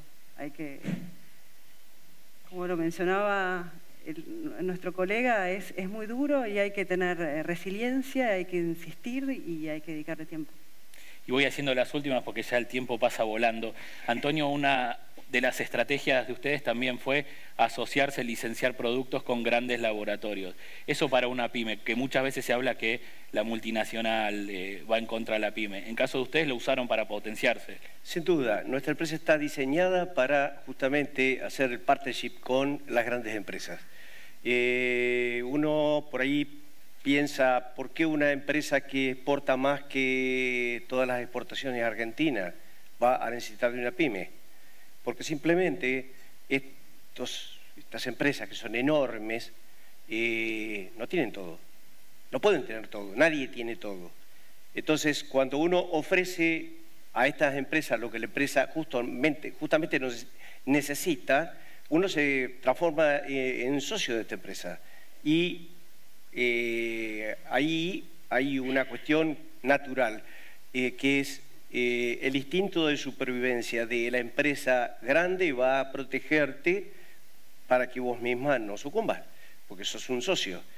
Eh, lógicamente, uno siempre tiene que estar presente, presente de que se está eh, está durmiendo con el elefante, ¿no? Y que muchas veces el elefante le quiere hacer un cariño y le pega un trompazo y lo manda afuera de la cama. Pero estas cosas nada más son precauciones y warning que uno tiene que tener presente. Pero en la relación funciona y funciona muy bien y es totalmente posible llevar esto adelante de forma sustentable. Nosotros ya llevamos 18 años de socios comerciales con una de las empresas multinacionales más grandes del mundo. Martín, en el caso de ustedes y como consejo para, para otras pymes que pueden estar mirando y escuchando, hay que pensar globalmente de entrada, no la exportación es algo que se te cruza a determinada edad de la empresa.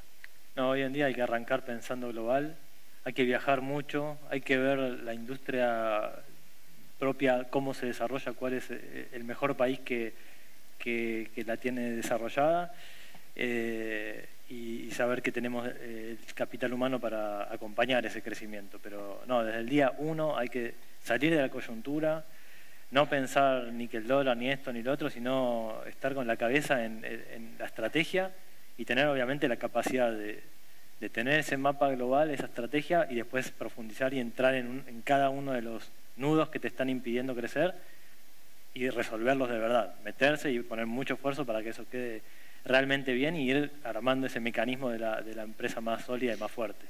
Esteban, para cerrar, ¿es difícil salir de la coyuntura? ¿Sos optimista de cara al futuro? Digo, de evaluación, inflación, eh, desde la gente que hace, desde la pyme argentina que exporta. ¿Sos optimista de cara al futuro? Eh, sí, yo soy muy optimista en términos de...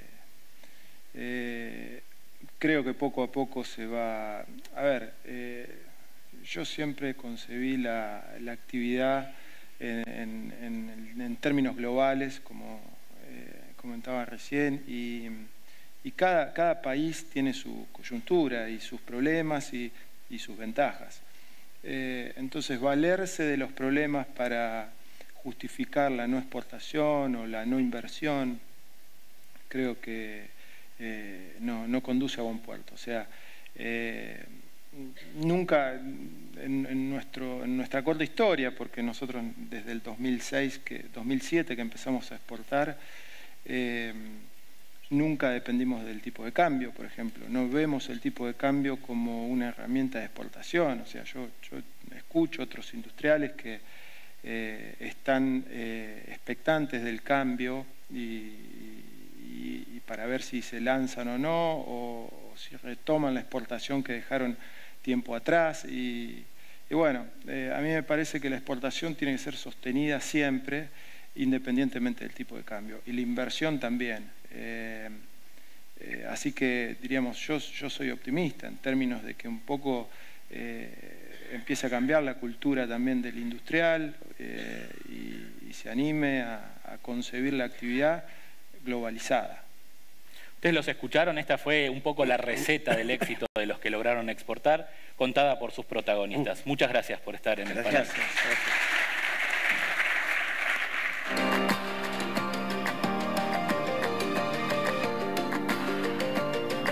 Y el otro factor importante es buscar modelos que permitan a ese productor que quizás es pequeño en, su producción integrarse en modelos que lleguen al mercado. De manera de eh, consolidar un, claro, un proceso de integración que permita al productor producir lo que el mercado demanda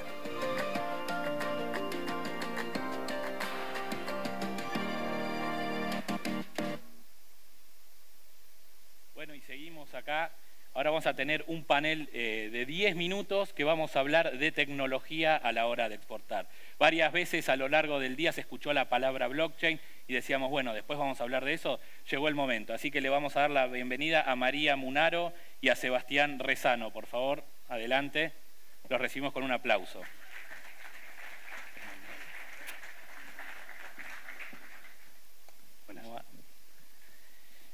Bueno, María Munaro a mi derecha es líder de blockchain en IBM Argentina. Es ingeniera en sistemas por la Universidad Católica de Córdoba, ¿verdad? Y tiene un máster en management por la Universidad eh, Metropolitana. ¿Qué es blockchain? Eh, eh, una vez en, una reunión que hubo en el, en, el Congreso, yo muchas veces lo que dije fue de que en realidad era una forma tecnológica de resolver un problema que existía en la sociedad de hoy. ¿no? Eh, uno de los grandes problemas que hay es el, cómo se establece la confianza. ¿no? Y eh, esto es un instrumento para poder facilitar ese establecimiento de confianza entre diferentes partes. A mi izquierda, Sebastián Rezano es vicepresidente de Business Development en Kinetics, una empresa de eh, blockchain, con sede en el Reino Unido, ¿verdad? Sí.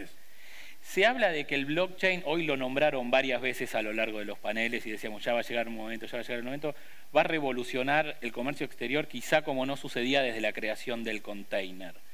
¿Cómo es eso? ¿Qué, puede aportarle sobre todo al comercio exterior el blockchain? Bueno, en primer lugar, la estandarización, ¿no? Eh, una plataforma común, un idioma en común entre diversos participantes eh, de todo un ecosistema. Recién hablaba Elizondo de las cadenas de valor internacionales, tener un, repositorio donde todos pueden acceder a la misma información, eh, creo que genera un efecto de red gigantesco en, términos de estandarización. Eh, segundo, en eficiencia, al haber menos fricción, menos costos, tiene un efecto similar al del contenedor, ¿no? De donde la eficiencia de carga, descarga y poder llevarlo a través de múltiples eh, canales tener un efecto muy, muy positivo. Y lo tercero creo respecto a la, trazabilidad. El contenedor permitió agrupar cargas, en, manejarla de cierta manera. El blockchain nos da este, este componente de inmutabilidad que hay sobre el, registro, nos permite una trazabilidad perfecta de, origen al puerto hoy en día, digamos, hay distintos estándares que, que un país vaya a blockchain y todavía otro no. ¿Eso complicaría el comercio internacional? Digamos, ¿sería algo que se tiene que poner de común acuerdo los países y buscar un estándar único para que no haya distintos lenguajes, por así decirlo?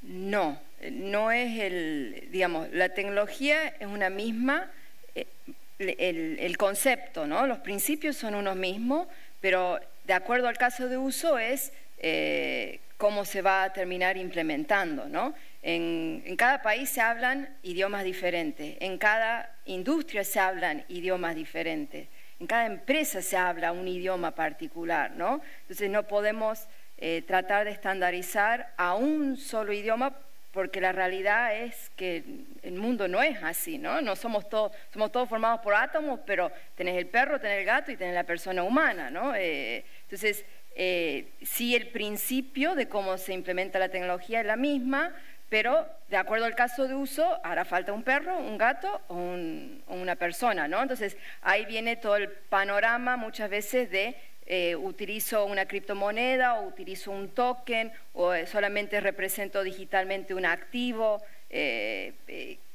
depende de qué, en dónde lo quieres aplicar, cuál es la mejor forma de hacerlo. Y en cuanto al costo de adopción de, blockchain y en general de las tecnologías, de todo lo que sea exportación en general, eh, tiene como un costo adicional y en Argentina suelen tardar algunas tecnologías llegar antes que, en el resto del mundo. ¿Cómo ves al país en ese aspecto? Bien, ahora eh, hay un desafío grande en términos de, regulación. Eh, en la charla de, Ibarra vimos que hay, todo un proceso de, digitalización y de mejora del Estado eh, en cuanto a la agilidad de los trámites. Y eso es un tema fundamental. Mientras que tengamos una economía en papel, pensar en blockchain, donde todo digital, se, hace bastante difícil.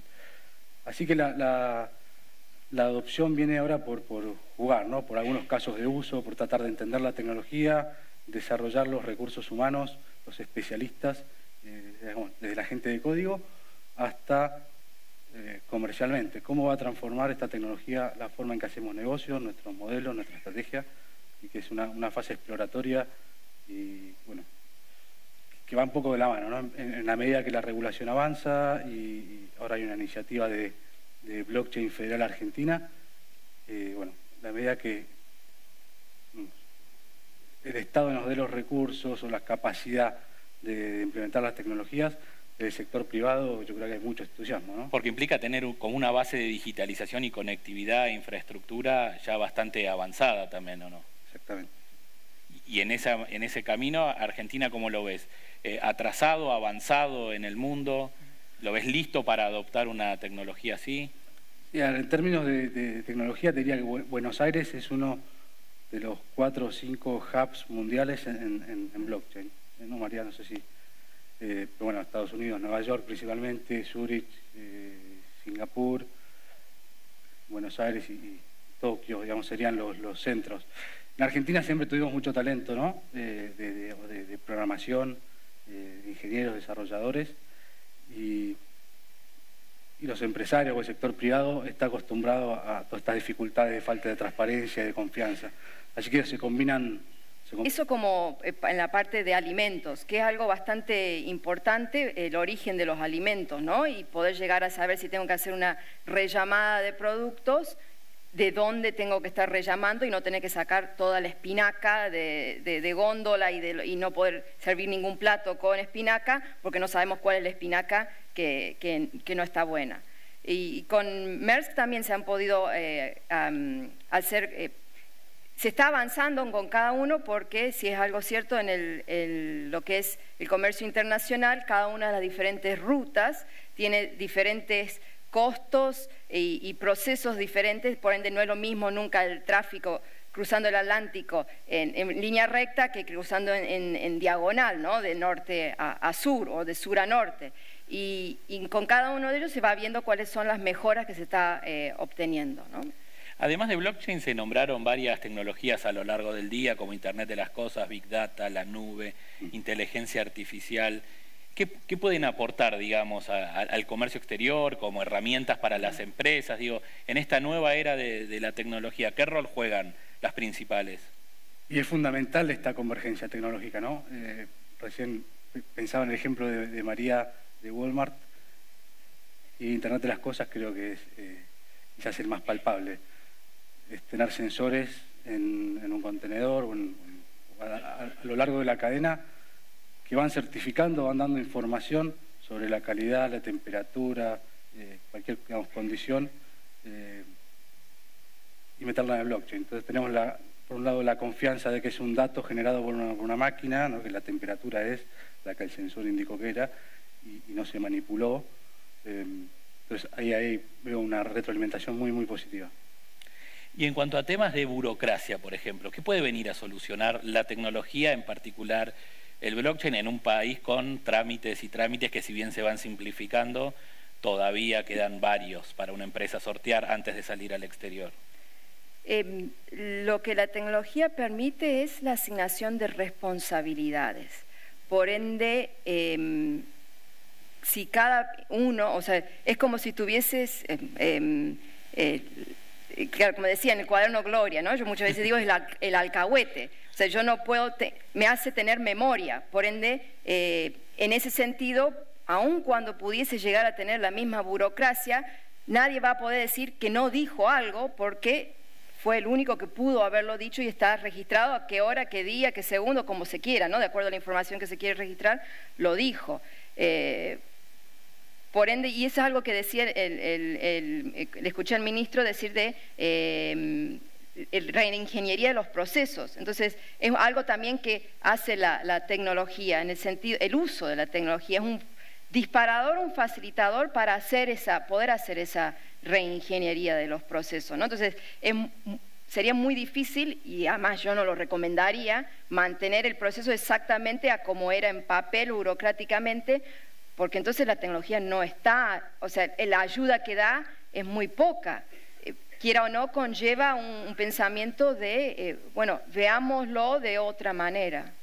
Y en materia de seguridad, pues las nuevas tecnologías generalmente generan esa duda, ¿no? Una nueva tecnología que aparentemente es más segura, pero después se puede hackear. En ese sentido, el blockchain eh, se dice que es más seguro, pero se va, puede inventar la forma de hackearlo. Bueno, la seguridad es, un tema, la seguridad y, digamos, cómo se comparte la información. Entonces, hay un tema de, la comunidad, quiénes son los que están adentro de, este ecosistema. Eh, y en particular en comercio exterior, me imagino más blockchain cerradas, permisionadas, eh, manejadas con, por empresas y recursos eh, tecnológicos de compañías, con lo cual ya hay una capa adicional de seguridad. Em, pero efectivamente es una tecnología todavía que está en, una etapa muy temprana y se está experimentando. Eh, la, blockchain en general es segura, decimos por, los nodos, porque no se puede, hay que, hay que atacar el 51% de, los nodos para, para falsear alguna información y siempre se puede volver atrás a un, registro anterior, ¿no?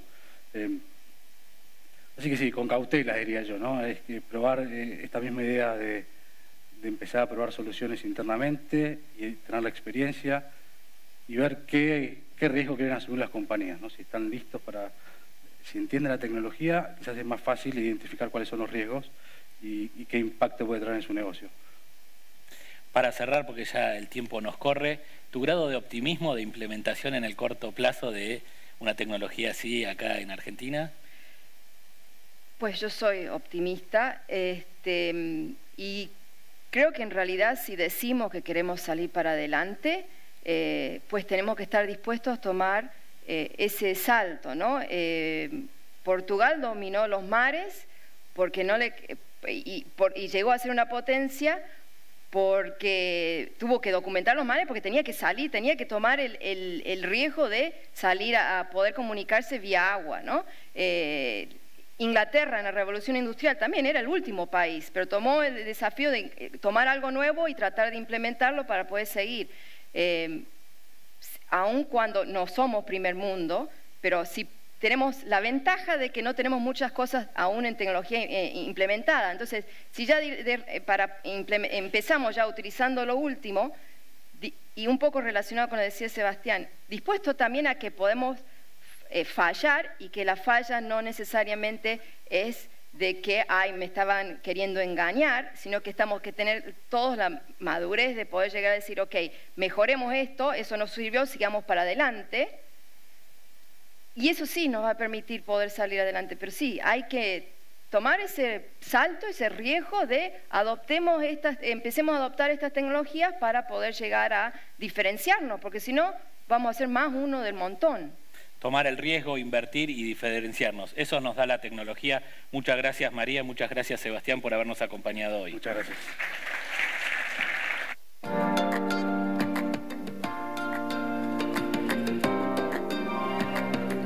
Hay una dinámica de exportación que empieza a crecer. Vemos que el 30% ha sido el crecimiento de la exportación si lo comparamos con el año pasado. ¿Cómo se explica eso? Hay una mejor dinámica en Brasil. Sí. El mercado está jalonando. Esperamos que continúe de esa forma.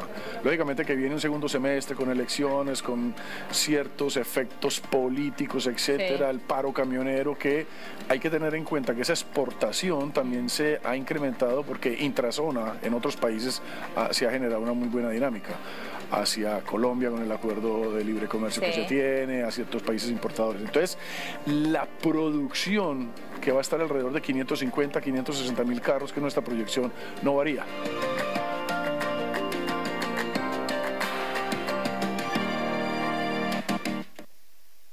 El cierre, para los últimos 10 minutos de cierre, me acompaña aquí Juan Pablo Trípodi, por allí a la derecha. ¿Cómo andás, Juan Pablo? ¿Qué tal, Bienvenido. Y gracias a las 355 mil reproducciones que, ya hemos tenido de este encuentro, gracias a los que están a través de lanación.com, a través de La Nación Más, la verdad que es, muy interesante, sobre todo llegan comentarios de todos lados, de Costa Rica, de Brasil, eh, infinidad de mensajes que tienen que ver con esto de trascender fronteras, para eso nos sirve también lo, digital, ¿no? Sin duda, este, creo que aprovechar la oportunidad de eh, que nos da toda la tecnología para este desembarco argentino del mundo es fundamental.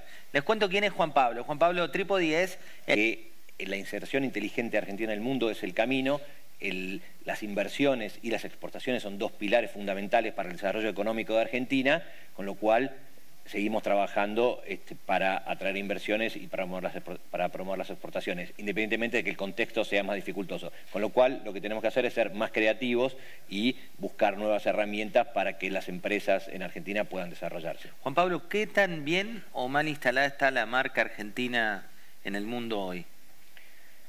es difícil. La marca argentina tiene tres o cuatro atributos de reconocimiento, tango, fútbol, Messi, etcétera. Nosotros queremos crear una marca argentina donde se nos reconozca por la creatividad, por la innovación, por esta nueva Argentina que queremos brindar eh, y que queremos que, sea, que esté integrada al mundo y donde se nos reconozca por la transparencia, la institucionalidad y la seriedad que tenemos para hacer los negocios y las oportunidades de negocio que hay. Obviamente esos son muchos años de trabajo, no pretendemos que suceda de un día para otro, pero sí queremos ir construyendo con base sólida todo esto que te decía para que en algún momento digan realmente Argentina representa todo esto que te estaba diciendo. Pasaron dos años y medio de la salida del cepo, hoy eh, estamos ante una situación compleja la economía doméstica, una turbulencia cambiaria que también hizo que el dólar cruce la frontera de los 30 pesos, que desde la perspectiva del exportador aparece como eh, una buena noticia. ¿Qué pasa con las inversiones? ¿Cómo afecta este dólar a 30 pesos a las inversiones?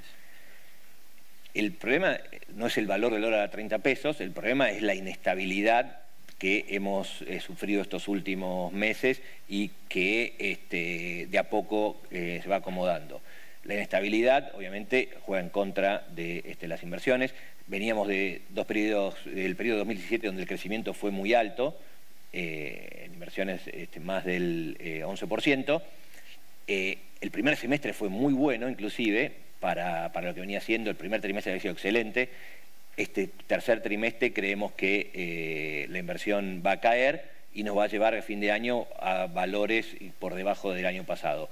Pero, ¿qué pasa? El inversor piensa en el país a largo plazo, piensa en las oportunidades de largo plazo, pero con lo cual eso sigue estando válido porque la confianza en Argentina está, la confianza en que vamos a sortear esta crisis este, por parte del mundo está, pero las decisiones de inversión eh, del momento, todas las compañías grandes las ponen en stand-by por un tiempo hasta que se aclare la situación. Que ese es el desafío principal, ¿no? De qué manera destrabar ese stand-by. Es con, eh, haciendo que eh, logrando estabilidad en la situación macroeconómica. Si el dólar se estabiliza a, este precio este, donde la competitividad que se ha ganado este, ayuda a, las exportaciones, que son un pilar fundamental y que este, en este segundo semestre van a ser muy importantes este, para el crecimiento del país y el de año que viene más aún, si logramos eso, los inversores van a volver eh, a, efectivizar el proceso de inversión. Porque hoy lo siguen pensando, nadie dejó, nadie abandonó su análisis de proceso de inversión. Pero sin embargo, en el corto plazo están esperando. Juan Pablo, cuando uno mira el ranking de, inversores externos y de inversiones internacionales, te da que Brasil con cerca de 70 mil millones y México con 31 mil millones siguen encabezando en la región los países con mayor flujo de inversiones. ¿no? Después, en 2017, también nos superó, cuando miras el mapa, el GPS de dónde invierten en la región, nos superó Colombia con más de 13 mil millones de dólares. ¿Cómo puede hacer la Argentina para volver al podio? Eh no hay atajos en esto. Esto es, primero, estabilidad macroeconómica y transparencia institucional. Mm. Es cierto lo que vos decís, nosotros el año pasado tuvimos 11.500 millones de dólares de inversión extranjera directa, porque vos estás hablando en este momento de inversión extranjera directa, que, este, pero pensemos que veníamos de 3.500 con lo cual se ha crecido mucho, el desafío es seguir creciendo. Veníamos de una participación este, muy baja y este año, el año pasado llegamos a poco más de dos puntos PBI, veníamos por debajo de 0,7. Eh, es un cambio muy importante. Y lo, pero lo más importante todavía es que en el contexto mundial la inversión extranjera directa en Latinoamérica bajó. sin embargo, en Argentina aumentó. Entonces, lo importante para destacar es que la tendencia en Argentina fue súper positiva en comparación con nosotros, a pesar de que seguimos teniendo niveles muy bajos. ¿no? Eso es que deberíamos llegar a algo entre 3 y 4 puntos del PBI. Estamos... Eh, ¿En cuánto estamos? Estamos un poquito, más, un eh, poquito arriba del 2 según los números del 2017. Cuando uno mira el efecto de los cuadernos, por citarte un caso reciente, hablas de eh, mayor transparencia en el largo plazo, hablas de mayor eh, posibilidad de que aquel que quiera pagar una coima o aquel que quiera cobrarla lo piense varias veces.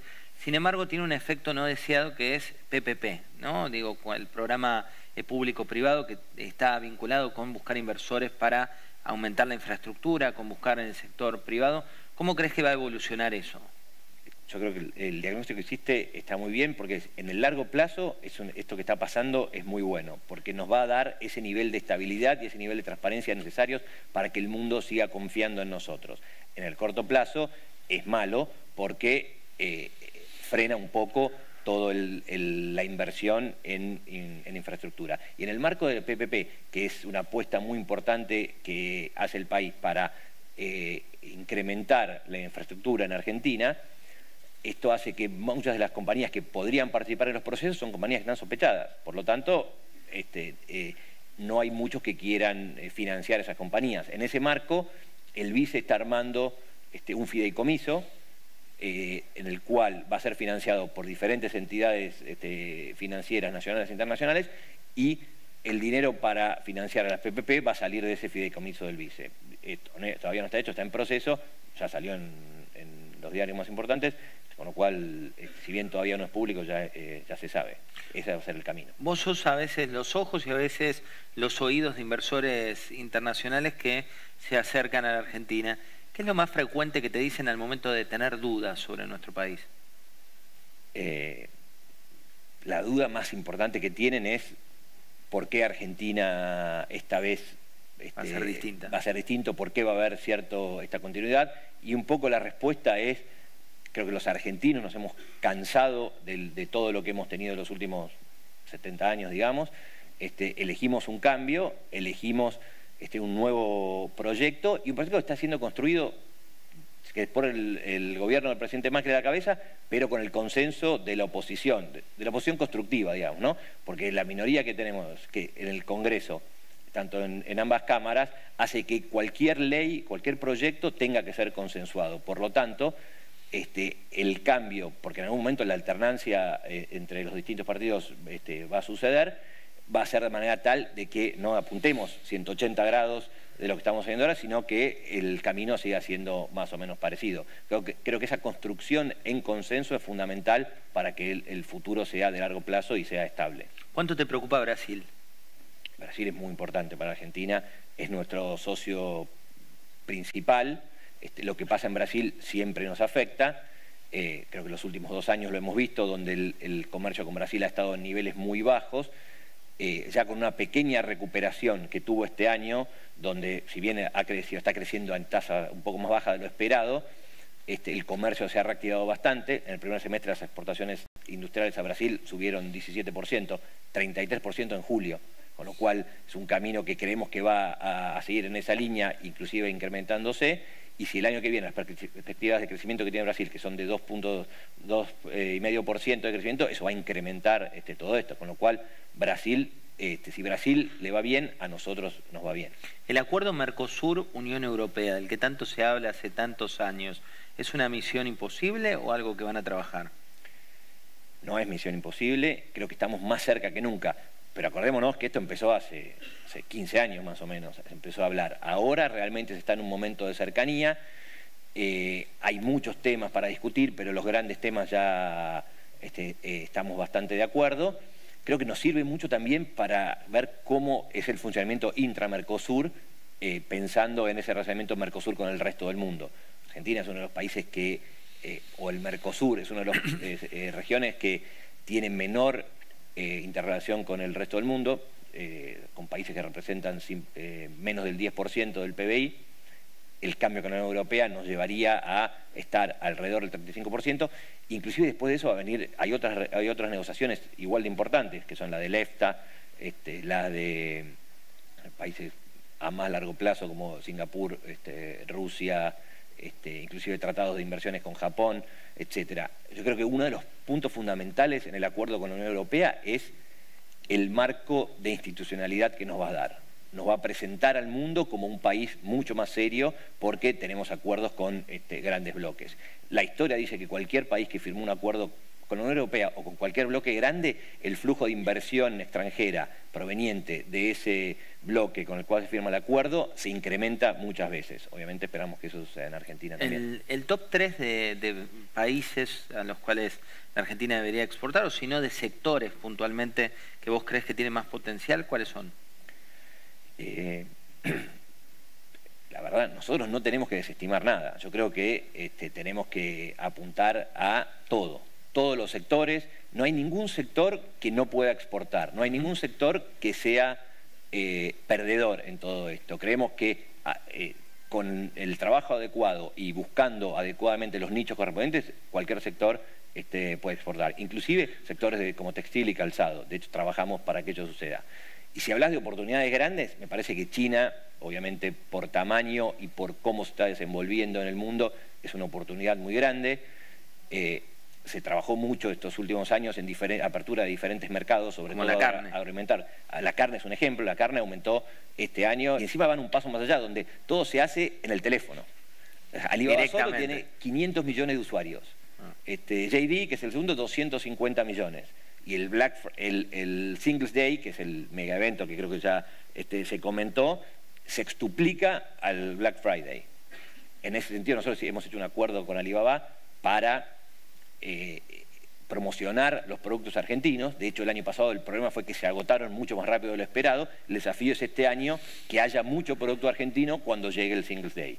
Para eso hemos abierto un hub logístico en Shanghai, donde invitamos a todas las empresas que quieran participar a tener producto en China.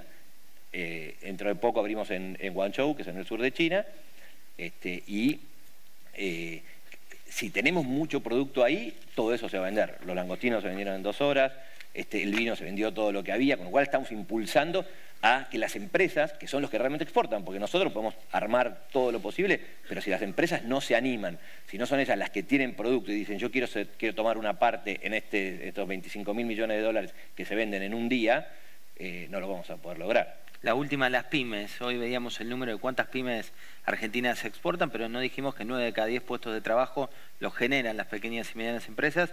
¿Cuánto potencial tiene para dar el salto? Enorme. El potencial es enorme porque estamos, eh, tenemos un número muy bajo. El desafío es poder hacerlo, es ver cómo creamos las herramientas necesarias para que las pymes dejen de tener miedo al mundo y lo vean como una oportunidad. Mercado de 40 y pico de millones que somos versus un mercado de 7 mil millones.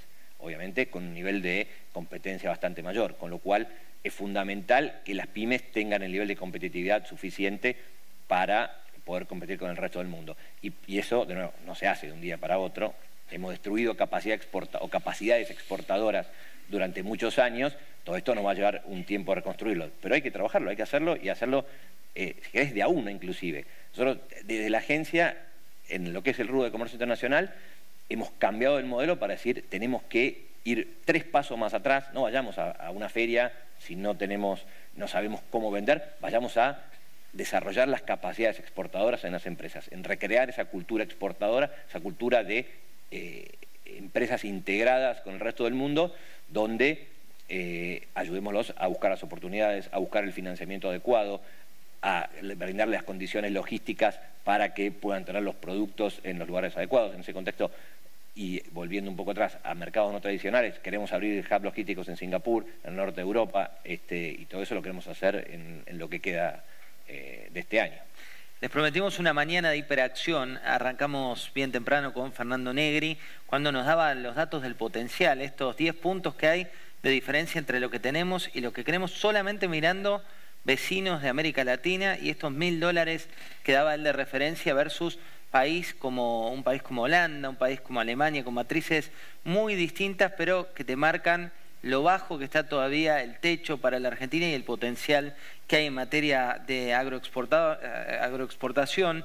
Seguimos con Andrés Ibarra, el ministro de Modernización, que prometió este mercado, este Estado sin papeles, y dijo algunas cosas que quedaron latentes, como esta discrecionalidad que se aplicaba, y cuando hay mucho papel, decía, hay mucha discrecionalidad, cuando hay mucha discrecionalidad, no hay trazabilidad, cuando no hay trazabilidad hay mucho cuaderno, sería el sinónimo de estos tiempos. Seguimos por Máximo Cavazzani con eh, un panel que dejó varios títulos, ¿no? El panel este de decir, eh, como lo decía Manuel Sobrado del Grupo Insud, la ciencia aplicada al mundo privado, la educación, como decía Max, que tiene que ser el complemento para ser un país de, materia global y de integración global, o como aportaba Hernán Másquez, el tema de la infraestructura que quedó latente con los sobrecostos que hay en nuestro país por las dificultades y por el transporte en camiones, por varias cuestiones que otras eh, particularidades políticas llevan a que así sea. Y Gastón Pérez Izquierdo de Bodega Catena Zapata nos decía, Bueno, con cumplir la ley estaríamos bastante mejor, ¿no? Si en los últimos 70 años se hubiera cumplido la ley, estaríamos mucho, pero mucho mejor. Nos metimos con las herramientas, herramientas y números que le daban en el panel de Nacho Federico, donde también quedó ese número de la brecha entre las pymes que exportan y las que no lo hacen. Y nos metimos con tres casos donde la casualidad, te decía vos que nos estás mirando, que no es tan difícil, ¿no?